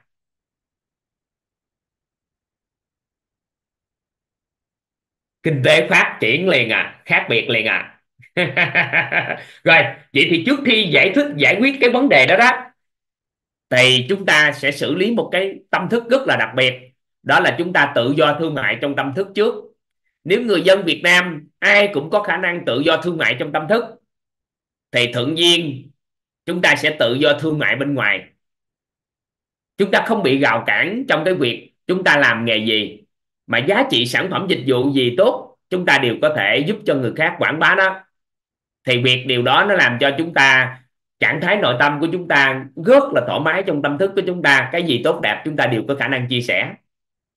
Thì lúc thời điểm đó chúng ta sẽ tự do thương mại bên ngoài. Thì dần dần chúng ta sẽ làm chủ dần đời sống vật chất của chúng ta. Được không? Các anh chị nắm được ý tại sao bước ba này quan trọng không? Vậy thì những con người đang thiếu thốn về tài chính, ví dụ như có những nhiều giáo viên đi dạy, cảm thấy đời sống nghèo, bởi vì hàng ngày chúng ta cảm giác rằng việc làm nghề giáo mà bán cái gì thêm á, thì kỳ quá. Và chúng ta không có lan tỏa bất kỳ sản phẩm dịch vụ nào của ai hết trơn thì qua thời gian tự nhiên chúng ta đóng lại hết tất cả những cái thương mại trong tâm thức chúng ta. Cái dần dần tự nhiên đời sống của chúng ta có một nguồn thu nhập thôi. Bấp bênh. Hiểu ý này không? Nhưng đâu đó có một số anh chị nào đó làm giáo viên. Nhưng mà họ thấy ổi ngon quá. Quá ngon. Ổi quê mình ngon quá. Thích quá. Cái họ mua họ ăn. Cái họ thấy ngon quá cái họ quảng bá nó chia sẻ trong nhóm giáo viên. Cái tự nhiên người ta mua, ban đầu cũng không lời lớn gì, nhưng từ từ tự nhiên lợi ký ba ngàn, năm ngàn. Cái dần dần dần dần có nhiều người mua, ngày kiếm thêm vài trăm ngàn. Cá không? Con số người đi về nhà làm nội trợ. Tối ngày làm nội trợ cầm cụi, không có biết tự do thương mại. Nhưng mà thấy mật ong đồ của vùng quê ngon quá, tốt quá. Cái chung cư á, người ta có nhu cầu cái quảng bá cho người ta, cái thuận nhiên từ từ từ từ ở nội trợ trong nhà mà kiếm thêm thu nhập 10 triệu 20 triệu thêm, có phải thoải mái tài chính hơn không? Còn không tự do được cái tâm thức đó, không có năng lực đó, không có khả năng quảng bá đó, thì nó đóng lại cái năng lực thu hút tài chính. Hiểu này không ta? Cả nhà các anh chị hiểu ý này không ta? Cái này quan trọng nha cái này quan trọng à. Không cần tiền. Khi chúng ta quảng bá, nhưng mà việc chúng ta mở rộng tâm thức đó đó, nó làm cho chúng ta có tiền từ giá trị của việc chúng ta quảng bá. Tập cái thói quen trong tâm thức của chúng ta là cái gì tạo lập được giá trị xã hội tốt chúng ta thuận duyên quảng bá. Ví dụ này, các anh chị quảng bá lớp nội tâm thôi. Nó cũng là một dạng để cho anh chị tự do thương mại. Các anh chị tin tưởng được thì các anh chị quảng bá. Nếu không tin thì đừng quảng bá. Cái nào các anh chị cảm thấy giá trị được, các anh chị hãy làm cũng được. Đó là gì? Đừng quảng bá đại trà. Quảng bá quảng bá muốn quảng bá thì quảng bá. Mà chúng ta sao à chúng ta tự tin về sản phẩm ở đây có, chị Bích Nga có nhắc là sách hạnh phúc đủ làm chủ cuộc đời. Cũng là cuốn sách để chúng ta thích, chúng ta quảng bá. Người ta đọc được nhận giá trị, thì mình không có có tiền, nhưng mình có tích được phước báo không? Cả nhà. Mình không có tài chính, nhưng mình có gì? Có phước báo. Vậy thì thông qua quảng bá, có khả năng tích phước rất cao. Và đây là cái cách để chúng ta kích hoạt cái nghiệp quả của chúng ta. Quảng bá nó kích hoạt nghiệp quả. Được không? Nắm được tới đây không? Lớp học này phí tỳ tâm mà. Nên là gì thuận duyên thì quảng bá. Mà vô đây các anh chị cứ theo dõi tới khi nào mà viết đúng tiêu chuẩn, các anh chị thấy, các anh chị tin tưởng được, các anh chị quảng bá cũng được. Nhưng mà phải nhất định phải quảng bá những sản phẩm, những dịch vụ, những giá trị tốt đẹp. Ngay cả các anh chị quảng bá con người những con người mang lại những gì tốt đẹp cho xã hội, các anh chị thuận duyên quảng bá để cho người khác được học hỏi từ họ. Tập dần cái thói quen quảng bá trong tâm thức của chúng ta. Không cần tài chính trong bước đầu tiên mình làm. Và sau này cũng không cần thiết, nhưng mà tài chính nó tự có không? Theo các anh chị. Nếu các anh chị quảng bá mà người ta mua được một căn nhà, theo các anh chị, người ta quảng bá mà mua được một cái căn nhà người ta ưng ý, thì các anh chị không cần lấy tiền cọc. Tiền tiền à, gọi là gì? Tiền à, tiền gì quên tiêu à? Bên môi giới bất động sản thì người ta gọi tiền đó là tiền gì cả nhà? Quên. Tiền cò tiền hoa hồng. Hoa hồng đi khỏi cò. Thì người ta cũng cho chúng ta tiền hoa hồng không? Theo các anh chị. Người bán được người ta cũng chia một chút xíu hoa hồng cho chúng ta không? Ngon không? Ngon không cả nhà. Nhưng mà chúng ta không có thói quen đó. Không có thói quen con cá ăn ngon cũng có thể quảng bá. Hạt tiêu chúng ta ăn mà thấy nó chất lượng thật sự nghe. Đủ tiêu chuẩn chúng ta quảng bá. À, cây bút này toàn quảng bá nhiều bút này lắm nè. Bán cây hãng này không biết giờ biết còn không? Chứ hãng này tức hãng ở Việt Nam này toàn bán bút này mênh mông đại hải luôn, mà toàn cũng không biết là cái sao nữa. Toàn quảng bá bút lai này, nó quá tốt. Tại vì quá chất lượng để chúng ta truyền đạt thông điệp nào đó trên tờ giấy mà chúng ta viết chữ này. Quá tốt và viết chữ rất đẹp. Hiểu ý nào không ạ? À? hiểu này không ta? Thì chúng ta có thói quen đó đó. Thì thuận duyên chúng ta tích được một phần nào đó phước báo. Vậy thì chúng ta, nếu chúng ta quảng bá tri thức nội tâm, thì các anh chị nghĩ mình tích được công đức không? Phước đức không ạ? À? cả nhà. Nhưng mà chúng ta đóng lại năng lực này, thì đồng nghĩa với chúng ta đóng lại một cái cánh cửa để mở ra chúng ta làm, đóng lại khả năng làm chủ vật chất, làm giàu vật chất. Nên quảng bá chính là một cái chìa khóa mở ra cái cánh cửa cho chúng ta làm giàu vật chất và mở rộng hết tất cả những yếu tố mà chúng ta có được. Đây là một chìa khóa quan trọng trong cuộc đời của một con người. Đó là quảng bá phối hợp dẫn dắt. Ngôn ngữ mà toàn dùng, cái này nó được gọi là tam đại pháp bảo của cuộc sống. Đây là một pháp bảo của cuộc sống giúp cho chúng ta. Nó được gọi là tam đại pháp bảo.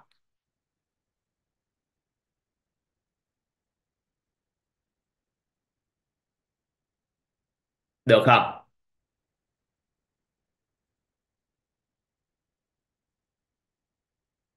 Nắm nắm ý này không? Đây nha. Rồi, đó là bước ba. Bước thứ tư.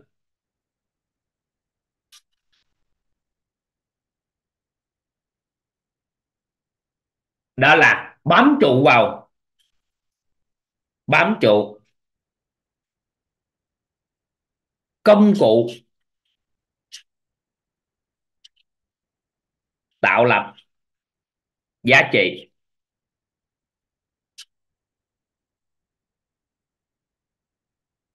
Thỏ lâu lớn lành thuận tam giác giới.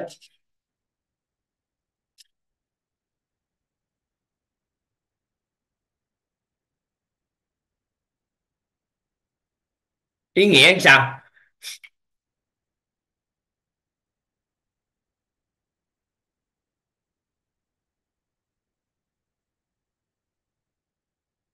Nói thêm về phối hợp dẫn dắt hả? Nói thêm về phối hợp dẫn dắt. Thì nói đơn giản như thế này. Ví dụ như giờ các anh chị muốn chúng ta biết bơi các anh chị muốn biết bơi bơi 10 cây số. Chúng ta bắt đầu quảng bá lợi ích của việc bơi và quảng bá ông thầy giáo ông dạy bơi. Là ông mang lại điều gì, giá trị của bơi kiểu sao cho nhiều con người. Cái đâu đó có một người nào đó, họ muốn bơi 10 cây số giống như chúng ta. Chúng ta mới phối hợp cùng với ông thầy dẫn dắt họ và cho họ bơi được 10 cây số. Mà chúng ta cũng chưa biết bơi. Sau đó tiếp tục, chúng ta quảng bá tiếp, người ta vẫn bơi. Thì qua thời gian, các anh chị nghĩ nhiều người biết bơi được 10 cây số, vậy chúng ta tích lũy được phước báo trong lĩnh vực bơi không? Cả nhà.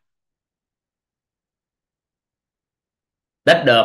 Thì một ngày nào đó, chúng ta sẽ gõ hình, rõ khái niệm về bơi và tần số rung động năng lượng của chúng ta tương đồng với việc bơi lội, thì chúng ta bơi được 10 cây số sau đó. Nên nếu chúng ta ứng dụng được cái năng lực quảng bá này vào trong cuộc sống, thì nó sẽ cho chúng ta đạt được hết tất cả những gì chúng ta muốn. Năng lực quảng bá phối hợp dẫn dắt. Thì ý nghĩa đơn giản theo cách này. Được không? Hiểu hen rồi. Bám trụ công cụ tạo lập giá trị, thỏa lâu lớn lành và thuận tam giác giới vậy thì có những việc, công việc chúng ta làm làm lâu nhưng mà không lớn. Làm lớn nhưng mà sao ạ? À? không có lành. Được không? Vậy thì việc chúng ta bám trụ vào một công cụ nào đó tạo lập giá trị, thọ lâu lớn lành và thuận nam giáp giới, thì chúng ta sẽ tạo giá trị xã hội lâu dài. Vậy thì ngoài cái công việc chúng ta làm thì các chuyên gia có thống kê cho chúng ta khoảng 6 cái lĩnh vực cơ bản mà chúng ta làm á, thì nó sẽ giúp cho chúng ta là tạo được tạo được công cụ tạo lập giá trị thuận thỏ lâu lớn lành. Thứ nhất anh chị có thể ghi giúp toàn đó là nghề giáo dục. Nghề giáo dục là một nghề có thể làm lâu, làm lớn và làm lành. Nhưng mà nói gì nói, xét về cách làm không cả nhà? Có xét về cách làm không? Chúng ta đang nói người làm tốt, người làm đúng nghe. Thì cái nghề giáo dục là nghề mà lâu lớn lành. Được ha? Nghề thứ hai là nghề y y tế. Bên lĩnh vực y tế, có y tế điều trị, y tế dự phòng rồi đó thì bên lĩnh vực y bởi vì phục vụ cho sự sinh trưởng và phát triển của con người mà sinh tồn của con người thì y tế. Giáo dục là phục vụ cho sự phát triển của con người y tế là phục vụ cho cái quá trình sao à, tồn tại của con người. Nên nó, nó lâu nó lớn và cả lành được. Nghề thứ ba đó là nghề tư vấn huấn luyện. Vấn đề về cuộc sống này luôn luôn xảy ra vấn đề với con người nên việc chúng ta chọn một cái tư vấn huấn luyện nào đó để bám trụ vào, đặc biệt nếu các anh chị chọn trở thành chuyên gia tư vấn huấn luyện nội tâm, thì các anh chị làm lâu được không cả nhà? Cả nhà làm lâu được cái ngành này không? Cả cuộc đời chúng ta làm được không? Được. Làm lớn không? Lớn và làm lành không cả nhà? Lành. Ngày thứ tư là công tác xã hội và nhân đạo cái gì liên quan tới công tác xã hội và nhân đạo thì xã hội càng văn minh, càng phát triển. Thì các lĩnh vực về công tác xã hội nó càng cần, con người càng cần. Và lĩnh vực về nhân đạo là, công tác xã hội và nhân đạo là một trong những cái nghề. Toàn nói chung nghe các anh chị tự suy diễn nha nghe. Rồi, thứ năm, đó là nghề nghiên cứu và phát triển. Không biết cái gì, nhưng nghiên cứu và phát triển những sản phẩm dịch vụ mà đáp ứng được nhu cầu tồn tại và phát triển của con người, thì cái lĩnh vực đó là nó lâu lớn lành. Ví dụ như chúng ta nghiên cứu và phát triển ra những sản phẩm thực phẩm, dinh dưỡng, nghiên cứu và phát triển cái nhiều cái để phục vụ cho sự phát triển của con người. Rồi, nghề nghệ thuật và sáng tạo. Nhu cầu sống của con người á, ngày càng cao, thì nhu cầu hưởng thức nghệ thuật và thì nó rất là quan trọng nên cái nghề đó dù văn minh tới đâu, thì con người cũng cần nó. Được chưa? Đó là sáu cái nghề mà chúng ta sao ạ? À? chúng ta có thể làm lâu lớn lành. Còn một nghề nữa mà nó còn lâu lớn lành khủng nữa, đó là chúng ta nghề làm chủ. Ngày hôm nay chúng ta làm chủ cái công cụ sản phẩm dịch vụ này.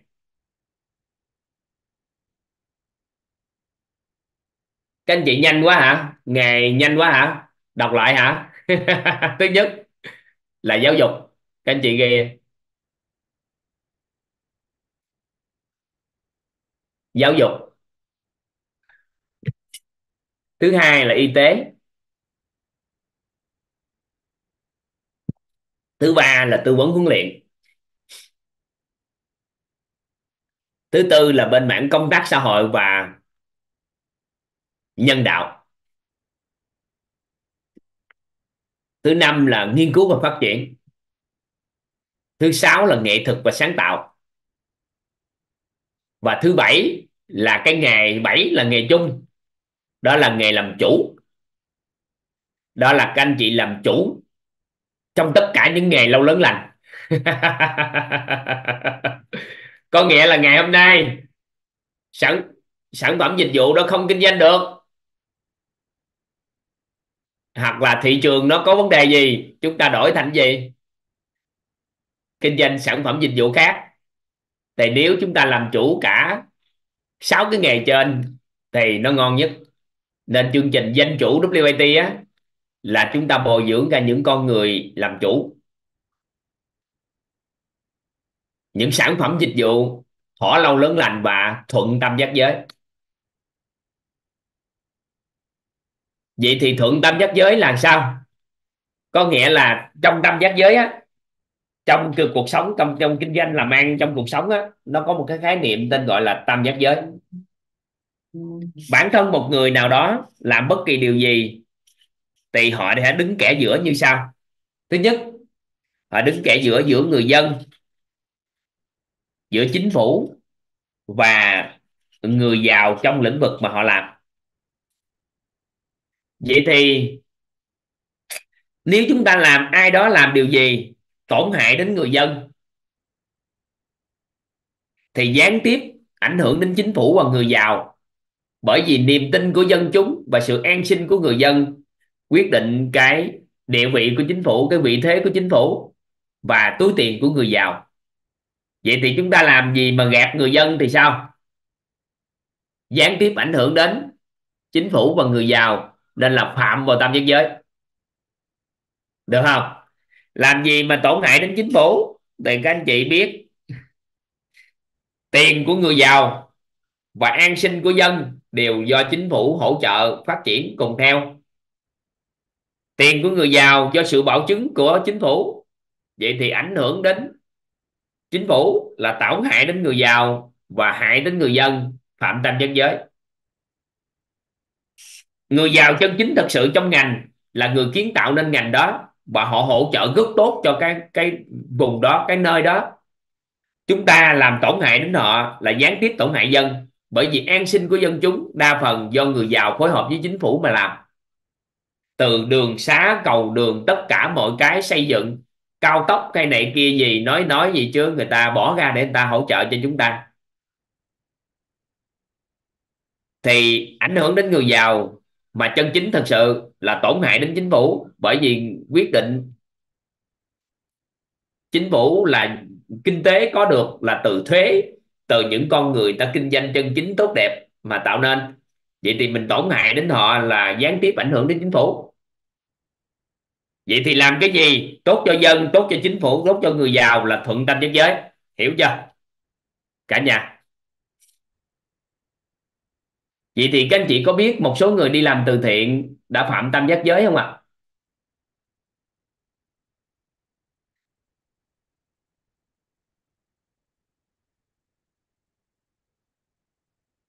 Các anh chị có nhiều người đi làm từ thiện mà không biết cách. Khả năng phạm vào tâm giác giới không cả nhà?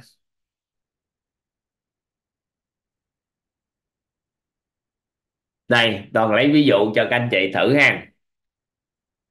Chúng ta đi làm từ thiện, ví dụ như giờ chúng ta chạy lại, chúng ta đem mà mấy trăm tấn gạo đến một vùng nào đó chúng ta phát. Đúng không? Mỗi người phát hai ba chục ký gạo. Ngon chưa? Tất cả dân chúng đều hưởng lợi.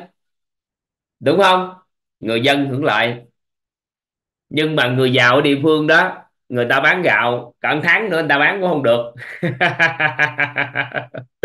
Tại vì ở địa phương đó người ta đang kinh doanh. Rồi thêm cái nữa, tự nhiên lại từ thiện mà không có hỏi chính quyền địa phương để làm. Thì động cơ kiểu sao? Làm gì? Và tự nhiên cái dân chúng người ta tôn sùng cái người nào đó làm từ thiện hình ảnh làm từ thiện rất tốt. Nhưng cái bắt đầu người ta nói chính phủ có vấn đề trong quá trình ta làm. Chính phủ ô, người gọi người khác ta lợi ta lo cho dân mà mấy ông ở đây cũng không lo được cho dân. Thì cuối cùng á, là làm từ thiện nhưng tổn hại với chính phủ và ảnh hưởng đến người giàu nên là phạm tam giác giới nên làm không lâu được.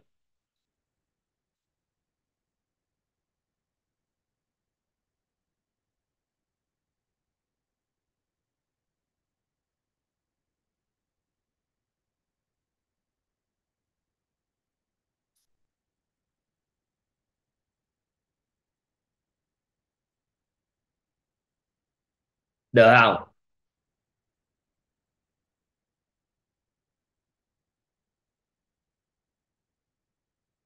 Có anh chị hỏi toàn là thầy thích minh tệ có phạm tam giới giới không mà lại bị chính phủ ảnh hưởng gì đó? Các anh chị sao biết được? Cái hiện tượng xã hội đang diễn ra toàn không có bình luận, nhưng toàn nói với các anh chị đơn giản thôi. Ảnh hưởng đến an ninh trật tự. Thì là phạm tam giác giới chưa? Dù chúng ta không làm nhưng thông qua chúng ta gián tiếp ảnh hưởng điều đó thì chúng ta phạm chưa? Cả nhà. Phạm không cả nhà? Phạm. Ảnh hưởng đến người giàu không? Cả nhà. Đố các anh chị, ảnh hưởng đến người giàu là gì? Là những con người người ta đang đang sao? Những người người ta đang tu hành đó cái sau đó những phần tử muốn tổn hại á, phương hại quốc gia cái bắt đầu lấy lên so sánh cái này so sánh cái kia nói từ lưa hết trơn. Cái làm cho những con người người ta nhìn nhận sai lệch về Phật giáo. Và có nhiều cái xảy ra nữa thì chính phủ phải can thiệp thôi chứ sao? Hiểu ý này không ạ? à?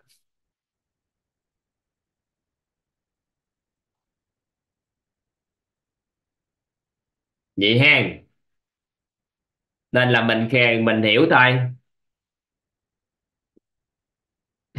Hiểu nè ông ta. Làm cái gì mà các anh chị thấy phạm vô cái này thì có nghĩa là các anh chị không bền. Còn thuận thì sao? Thuận thì sao cả nhà?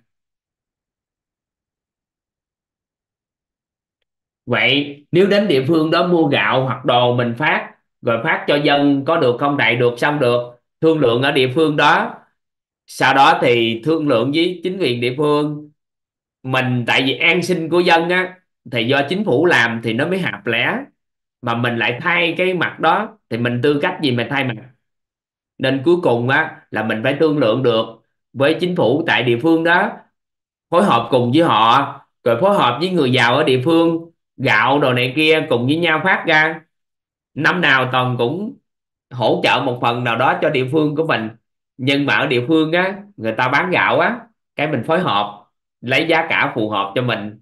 Cái sao Tết nhất á, cái phối hợp với chính phủ. Cái mình, dân nào ở đâu người ta cần á, mà mình cũng không cần nhất thiết phải ra mặt là mình làm gì. Thì như vậy thì chúng ta làm gì? Bền và toàn làm được mười mấy năm hay? Bền, năm nào cũng làm bền. Được không? Hiểu theo hiểu không ta?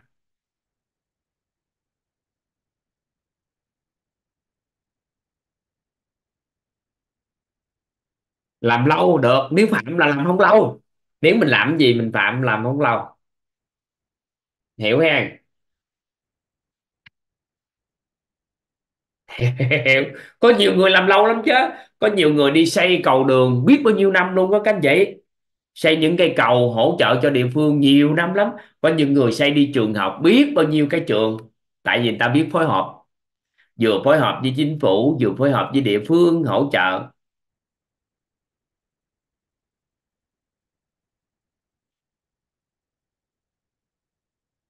Chính phủ à chính phủ là địa phương á. Ở à, ở xã ở xã cái mình phối hợp với xã, người ta. Người ta phối hợp cùng. Thầy nói gõ, giáo dục làm lâu lớn lành đi hả hả? Giáo dục thì làm lâu lớn lành thôi, chứ có gì đâu. Giáo dục nào cũng làm lâu lớn lành, nhưng cách làm thôi. Thì giáo dục về nhân sinh phối hợp kèm theo là nó sẽ lâu, lớn lành. Mình sẽ nói gì hả? Nói gì thì các anh chị lại địa phương đó, các anh chị muốn giúp địa phương đó, các anh chị hỏi, các anh chị mong muốn giúp đỡ địa phương đó vậy đó thì cho người ta cho ý kiến. Mình có mong muốn gì đó, người ta đứng ra thay mặt cho mình, người ta làm, người ta kêu gọi dân chúng, người ta hỗ trợ được tất cả mọi cái. Ừ. dạ. Được ha còn còn cái ngày nào thêm nữa, lâu lớn lành thì người ta, các ca, một số chuyên gia người ta thống kê, người ta nói những cái ngày đó thôi, người ta quan sát á còn các anh chị hỏi nông nghiệp hay thực phẩm đồ này kia, nó hỗ trợ cho sự tồn tại và phát triển mà. Thì nó cũng làm lớn, làm lành được. Nhưng mà các anh chị coi cái cách làm kiểu sao? Chúng ta thuận theo đó thôi.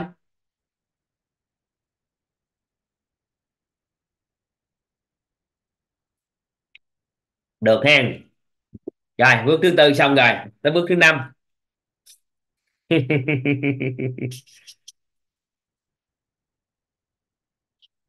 đó là hiện thực hóa sáu chữ vàng.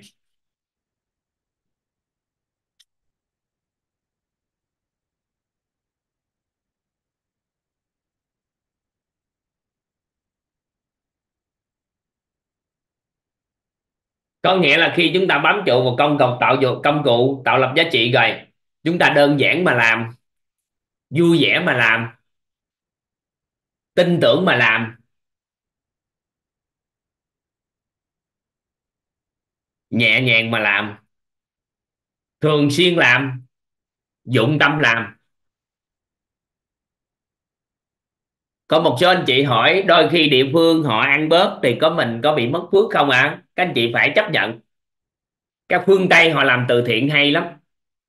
Họ chấp nhận được bao nhiêu phần trăm cái tài chính, cái từ thiện của họ đến tay người dân, đến tay người nhận giá trị và họ chấp nhận được 10 đến 20 phần trăm nó sẽ trải dài. Và họ đầu tư cho những người, trả tiền cho những người đi làm từ thiện. Phương Tây họ tính toán hay lắm. Họ trả lương, trả tiền cho những giá trị từ thiện. Và họ chấp nhận cho cái tài chính thấp thoát bao nhiêu phần trăm thì mới tới tay người dân. 10 phần họ cho đi. Họ chỉ cần đến người dân 8 phần là họ hài lòng thì nếu chúng ta biết được những điều đó đó, nó được gọi là lệ làng, luật lệ của làng quê vùng, từ vùng miền, chúng ta thuận nó, các anh chị làm được. Còn nếu không thuận nó, các anh chị làm khó. Được không? Rồi, sáu chữ vàng. Bước sáu. Khi các anh chị học sáu chữ vàng trong hành động rồi, đúng không cả nhà?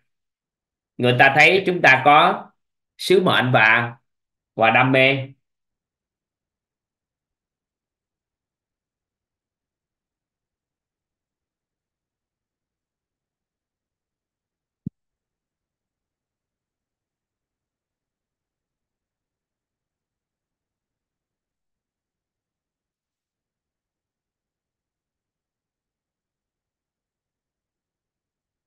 Rồi, bước thứ sáu.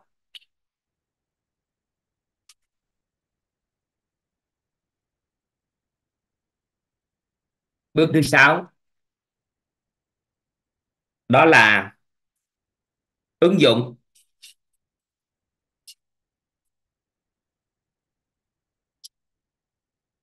Công thức. A mũ n a là thời gian n là người. Vậy thì nếu bản thân chúng ta nè, một người, sau đó chúng ta sao chép ra hai người làm cái đó? 20 người làm 500 người làm điều đó, và tới 10.000 người làm cái điều đó, và hàng triệu người làm nữa, thì sao chép này ra? Làm cái gì chúng ta sao chép? Hàng vạn người đồng hành cùng chúng ta. Thì nó được gọi là sao chép ra nhân sự kế thừa của chúng ta, tạo ra hàng 500 người, hàng 10.000 người.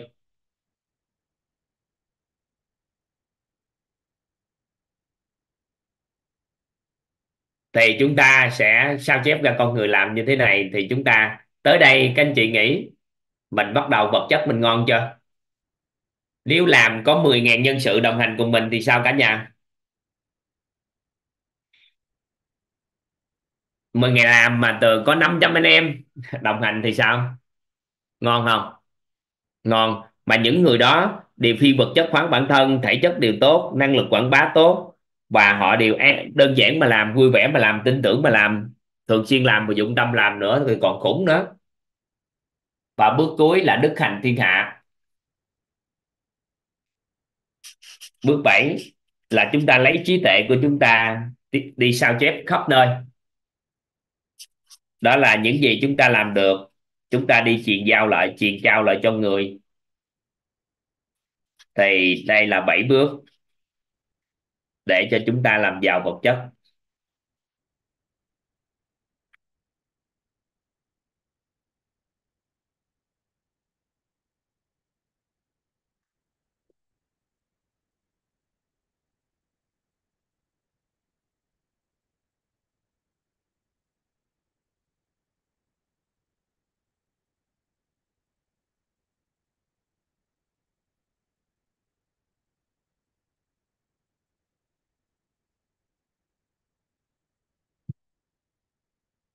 Bước thứ sáu hả? Bước thứ sáu là đầu tiên, mình làm cái gì? Mình kiếm hai con người đồng hành cùng mình. Có nghĩa là có hai con người tả phù hữu bậc. Có hai con người tả phù hữu bậc. Hai người đó đồng hành cùng sau đó các anh chị nhân ra có 20 con người đồng hành 500 con người đồng hành 10.000 con người đồng hành. Thì một doanh nghiệp các anh chị có 10.000 nhân sự thì các anh chị nghĩ sao? Các anh chị tổ chức, ví dụ như toàn nè, đang sao chép cho 10.000 chuyên gia tư vấn huấn luyện nội tâm, thì các anh chị nghĩ sao? Cả nhà, chúng ta sao chép cho 10.000 người tư vấn huấn luyện nội tâm thì sao ạ? à? Cả nhà. Ngon không? Rồi trong quá trình sao chép những cái tư vấn huấn luyện nội tâm thì toàn lại hỗ trợ cho họ phi vật chất hóa bản thân, làm giàu thể chất, năng lực quảng bá của họ tốt. Công cụ tư vấn huấn luyện nội tâm thì lâu lớn lành thuận tâm nhất giới nè. Sau đó họ chỉ cần làm á, là đơn giản mà làm, vui vẻ mà làm, tin tưởng mà làm, nhẹ nhàng mà làm, thường xuyên làm, dụng tâm làm nữa thôi là xong. Thì toàn sao chép có 10.000 người như vậy, làm này sau đó có một số người nói ô ừ, toàn xây dựng cộng đồng có 10.000 chuyên gia như vậy hay quá hướng dẫn cho anh cho chị xây dựng cái cộng đồng à, chuyên gia lĩnh vực của anh chị đi. Cái bắt đầu chào ạ à? Bên lĩnh vực làm răng cái mình tạo ra 10.000 chuyên gia phục hình răng. Lên lĩnh vực bất động sản cái mình tạo ra 10.000 chuyên gia bất động sản. Bên lĩnh vực um, uh, um, um, phong cách mới đây thì có bên à, phong cách mong muốn là sao chép ra 10.000 chuyên gia bên lĩnh vực phong cách. Bên à, lĩnh vực thể chất thì có mong muốn tạo tạo ra 10.000 chuyên gia bên lĩnh vực thể chất. Bên à, tâm y dung đào tạo ra 10.000 chuyên gia bên tâm y dung. Cái chúng ta hỗ trợ cho những lấy những trí tuệ chúng ta đã làm bên đây nè chúng ta sao chép ra. Thì các anh chị thấy chúng ta sao ra nhiều cộng đồng mà con người đều giàu trí tuệ, tâm thái, nhân cách, phẩm chất, sức khỏe tốt và năng lực thì đạt rồi. Gọi làm công cụ, thỏa lượng lâu lớn lành thuận tâm nhất giới nữa, mà họ đơn giản mà làm vui vẻ, mà làm tin tưởng, mà làm thường xuyên, làm dụng tâm làm. Thì chúng ta tạo ra nhóm con người như vậy. Thì đó là bước thứ bảy. Thì toàn đang làm, hoàn thành bước thứ sáu và bước thứ bảy đang làm. Sao chép cho các doanh nghiệp, các doanh nghiệp mời toàn vào doanh nghiệp. Họ đang muốn bồi dưỡng cho 10.000 nhân sự của họ. Có được những cái này cộng với năng lực chuyên môn mà họ có nữa, thì toàn đang hỗ trợ mấy doanh nghiệp như thế này. Thì họ xây dựng doanh nghiệp tỷ đô đi. Thì mình, theo các anh chị, mình hỗ trợ cố vấn và phát triển cho doanh nghiệp tỷ đô. Thì các anh chị nghĩ đời sống vật chất mình sao? Theo các anh chị. Toàn chỉ yêu cầu thêm sao à đó là họ có 10% lợi nhuận á. Thay vì họ đi làm từ thiện thì họ sẽ đồng hành cùng quýt, làm cho trẻ em. Được không? Hiểu không các anh chị? Thay vì mình nhận tài chính thì không bạn có lợi nhuận, bạn có được giá trị tốt đẹp của doanh nghiệp, thì 10% lợi nhuận đó đồng hành với cái dự án trẻ em của mình, làm cho trẻ em thế hệ Việt Nam chúng ta 25 triệu bạn nhỏ trên đất nước này. Thì mình cố vấn thôi, mình lấy trí tuệ mình sao chép ra và toàn làm từ đây tới bước thứ sáu đâu, ok rồi. Hai năm nữa là hoàn thiện tất cả mọi cái này. Để chúng ta sao ra, nên là toàn mới mở ra danh chủ, tặng học bổng cho danh chủ, bồi dưỡng cho họ. Cái sau khi họ bước ra thì không có cần phải cam kết điều gì cho á.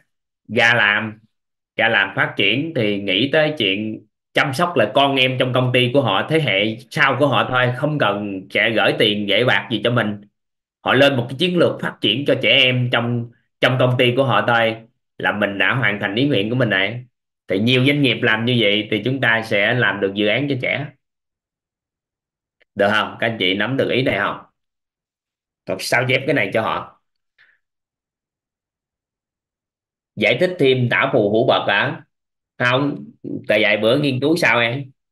Không giải thích. Hết giờ rồi.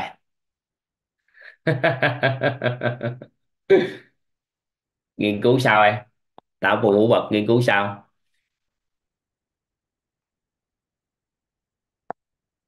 Một con người bật mình lên mà một con người phù đó là mọi việc mình làm. Mình làm á, thì họ sẽ thay việc cho mình làm. Ừ. thay, vậy thay. Bữa nay chuyển giao cho các anh chị gì nhận thức về vật chất. Nhiều đó đó chúng ta bye bye nhau. Khóa này chúng ta học tới đây. Được không? Lớp nhà giáo dục chừng nào mở hả? Nhà giáo dục gia đình phỏng vấn rồi đó các anh chị. Nhà giáo dục gia đình phỏng vấn rồi đó. Hình như là có link rồi đó cả nhà. Để có gì toàn à, toàn gửi link nhà giáo dục gia đình lên cho các anh chị về trong telegram. Ai có nhà giáo dục gia đình thì bắt đầu tháng 7 tháng à, tháng 7 là có khả năng là bắt đầu học rồi đó. Lớp quảng bá thì tháng 8 tháng 8 thì cho cộng đồng mentor master. Nếu ai có sự bảo hộ của mentor master nữa thì các anh chị sẽ được học. Nhà giáo dục gia đình có link rồi đó cả nhà. Các anh chị xem nhà giáo dục gia đình khóa 30 khi nào mở hả? Khóa 30 ngày 13 mở. Các anh chị ghi. Em gửi link đăng ký nhà giáo dục lên đây được. Rồi thêm gửi link nhà giáo dục gia đình cho bên trong ấy nữa. Mentor 7 chắc các anh chị đừng suy nghĩ tới. Mentor 6 thôi. Mentor 6 chứ trước đây chứ mentor 7 ờ, xa cái nữa nhiều khi đủ người mà không có mở mentor 7 không chừng. Mọi người đang yêu cầu làm mentor 7 thêm tới mentor 7 thì toàn phải cắt cái lượng người tham gia vào mentor 6 ít lại để trái dài ra còn mentor 7 thì được. Nên các anh chị à, bao giờ có lớp offline ngoài Bắc cả? Có nhưng không dành cho các anh chị. Có lớp của doanh nhân nhưng không có dành cho cộng đồng năm nay là lớp ngoài Bắc xong rồi tại vì mở lớp ngoài Bắc rồi. Khóa 30 ở ngày 13 các anh chị đợi tin nhắn đó, đợi tin ờ, trên đó để các anh chị đăng ký. Dạ. Nhà giáo dục gia đình hình như tháng 7 đó cả nhà. Chương trình nhà giáo dục gia đình hả? Những anh chị nào đang có con hoặc là chưa có con mà muốn theo đuổi cái việc lĩnh vực giáo dục cho trẻ em thực chiến ở nhà. Ví dụ như các anh chị à, là có một người con sau đó các anh chị có mong muốn gom dòng họ lại bao nhiêu trẻ các anh chị bồi dưỡng tới khi trẻ trưởng thành trở thành những con người xuất chúng thì các anh chị bồi dưỡng cho con học tập phát triển. Các anh chị sẽ được bồi dưỡng hình như hình như đặc biệt hay sao luôn? Thì các anh chị cần à, cần hiểu về nhà giáo dục gia đình thì toàn à, toàn nói cho cho cho cho cô Thiên Hà một số thầy cô phụ trách đó mở ra một cái Zoom. Có một buổi nói về à, nhà giáo dục gia đình là sao? Các anh chị muốn có cái đó không thì toàn nhờ cổ cổ mở ra để các anh chị hiểu hiểu coi việc chúng ta trở thành nhà giáo dục gia đình thì học tập sao lộ trình thế nào. Thì nếu có thì toàn sẽ cho các anh chị rồi thông báo và dựa vào mối quan hệ đó gửi link với nhau mà vô trong Zoom nghe.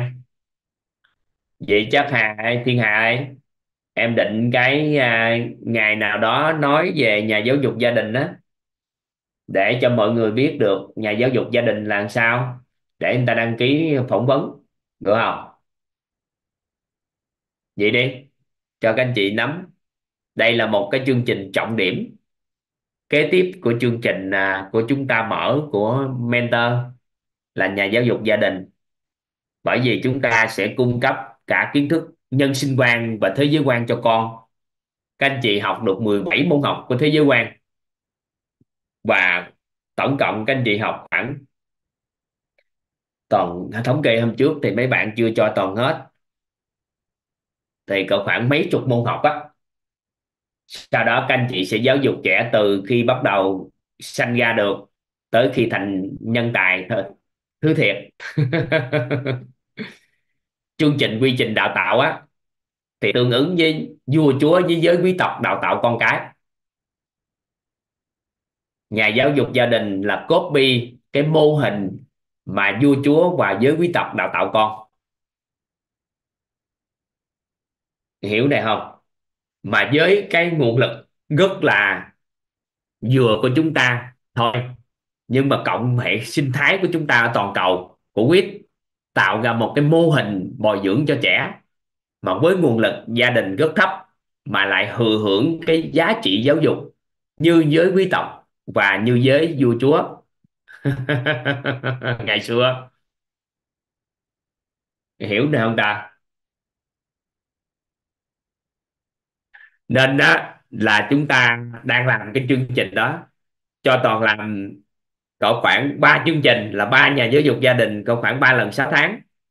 Thì chúng ta sẽ nâng cấp một cái chương trình lên một cái tầm cao. Bởi vì lúc đó những con người thật sự phụng sự đó, thì các thầy cô phụng sự là những thầy cô có tâm huyết rất lớn đối với giáo dục trẻ em. Và họ toàn tâm toàn ý để giúp đỡ cho các trẻ bạn. Nên nguồn lực của quyết hiện tại có thể tạo ra được một cái chương trình tương đương với quý tộc ngày xưa bồi dưỡng cho các bạn, từ về nhân sinh, từ thế giới quan, từ học tập, tới những cái môn từ đánh cờ, tới từ khiêu vũ, tới tất cả những cái gì cần thiết cho một bạn nhỏ để đủ cái hành trang cho con trở thành những người đặc biệt trong xã hội.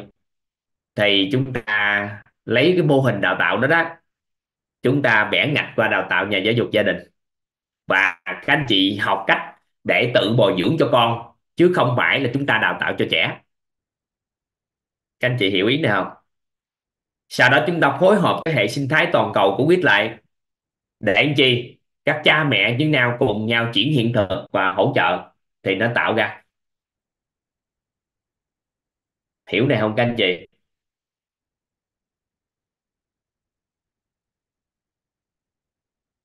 Khóa thư pháp khi nào có hả? Khi nào có thư pháp, khóa mới gì Diễm Kiều? Các bạn Kiều có đây không ta?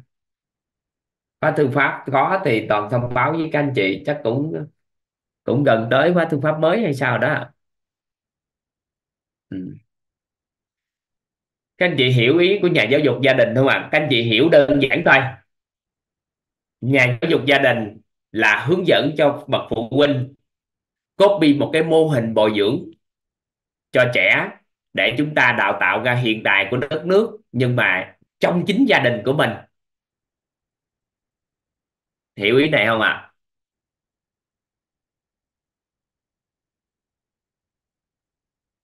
hiểu ý này không? Và mô hình cái này học tập dành cho những anh chị đang toàn tâm toàn ý cho sự phát triển của con thì đó là cái nhà giáo dịch gia đình đại khái là như vậy đó. Ừ. ai? Còn mở micro ra chào các anh chị cái à, chúng ta bye bye nhau chào thầy Chào thầy ạ. thầy lắm lắm Thầy, cả nhà lòng biết ơn thầy và cả nhà. thầy chào thầy và cả nhà.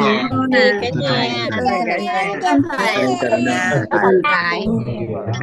cả nhà tạo mentor và nhà giáo dục có khác nhau không hả khác nhau hoàn toàn Chào thầy khác nhau hoàn toàn. Nhưng kiến thức thì nhận cái như nhau. Mentor thì chúng ta trở thành những nhà đào tạo. Còn nhà giáo dục gia đình thì là nhà giáo dục con cái không nhất thiết trở thành nhà đào tạo. Được ha? Ủa thầy, bữa em có nghe có lớp mentor thể chất đó thầy.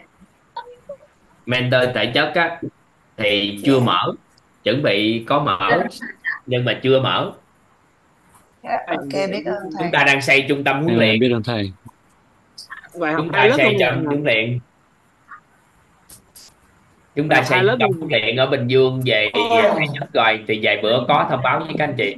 Nha. Dạ, biết ơn thầy. Dạ, em biết ơn thầy ạ. thầy cũng biết ơn Em chào cả nhà. Chào thầy. Chào thầy, chào cả nhà. biết ơn các anh chị. Bye bye các anh chị. con chào thầy. Ờ, chào thầy. Dạ bye bye các anh chị. Thầy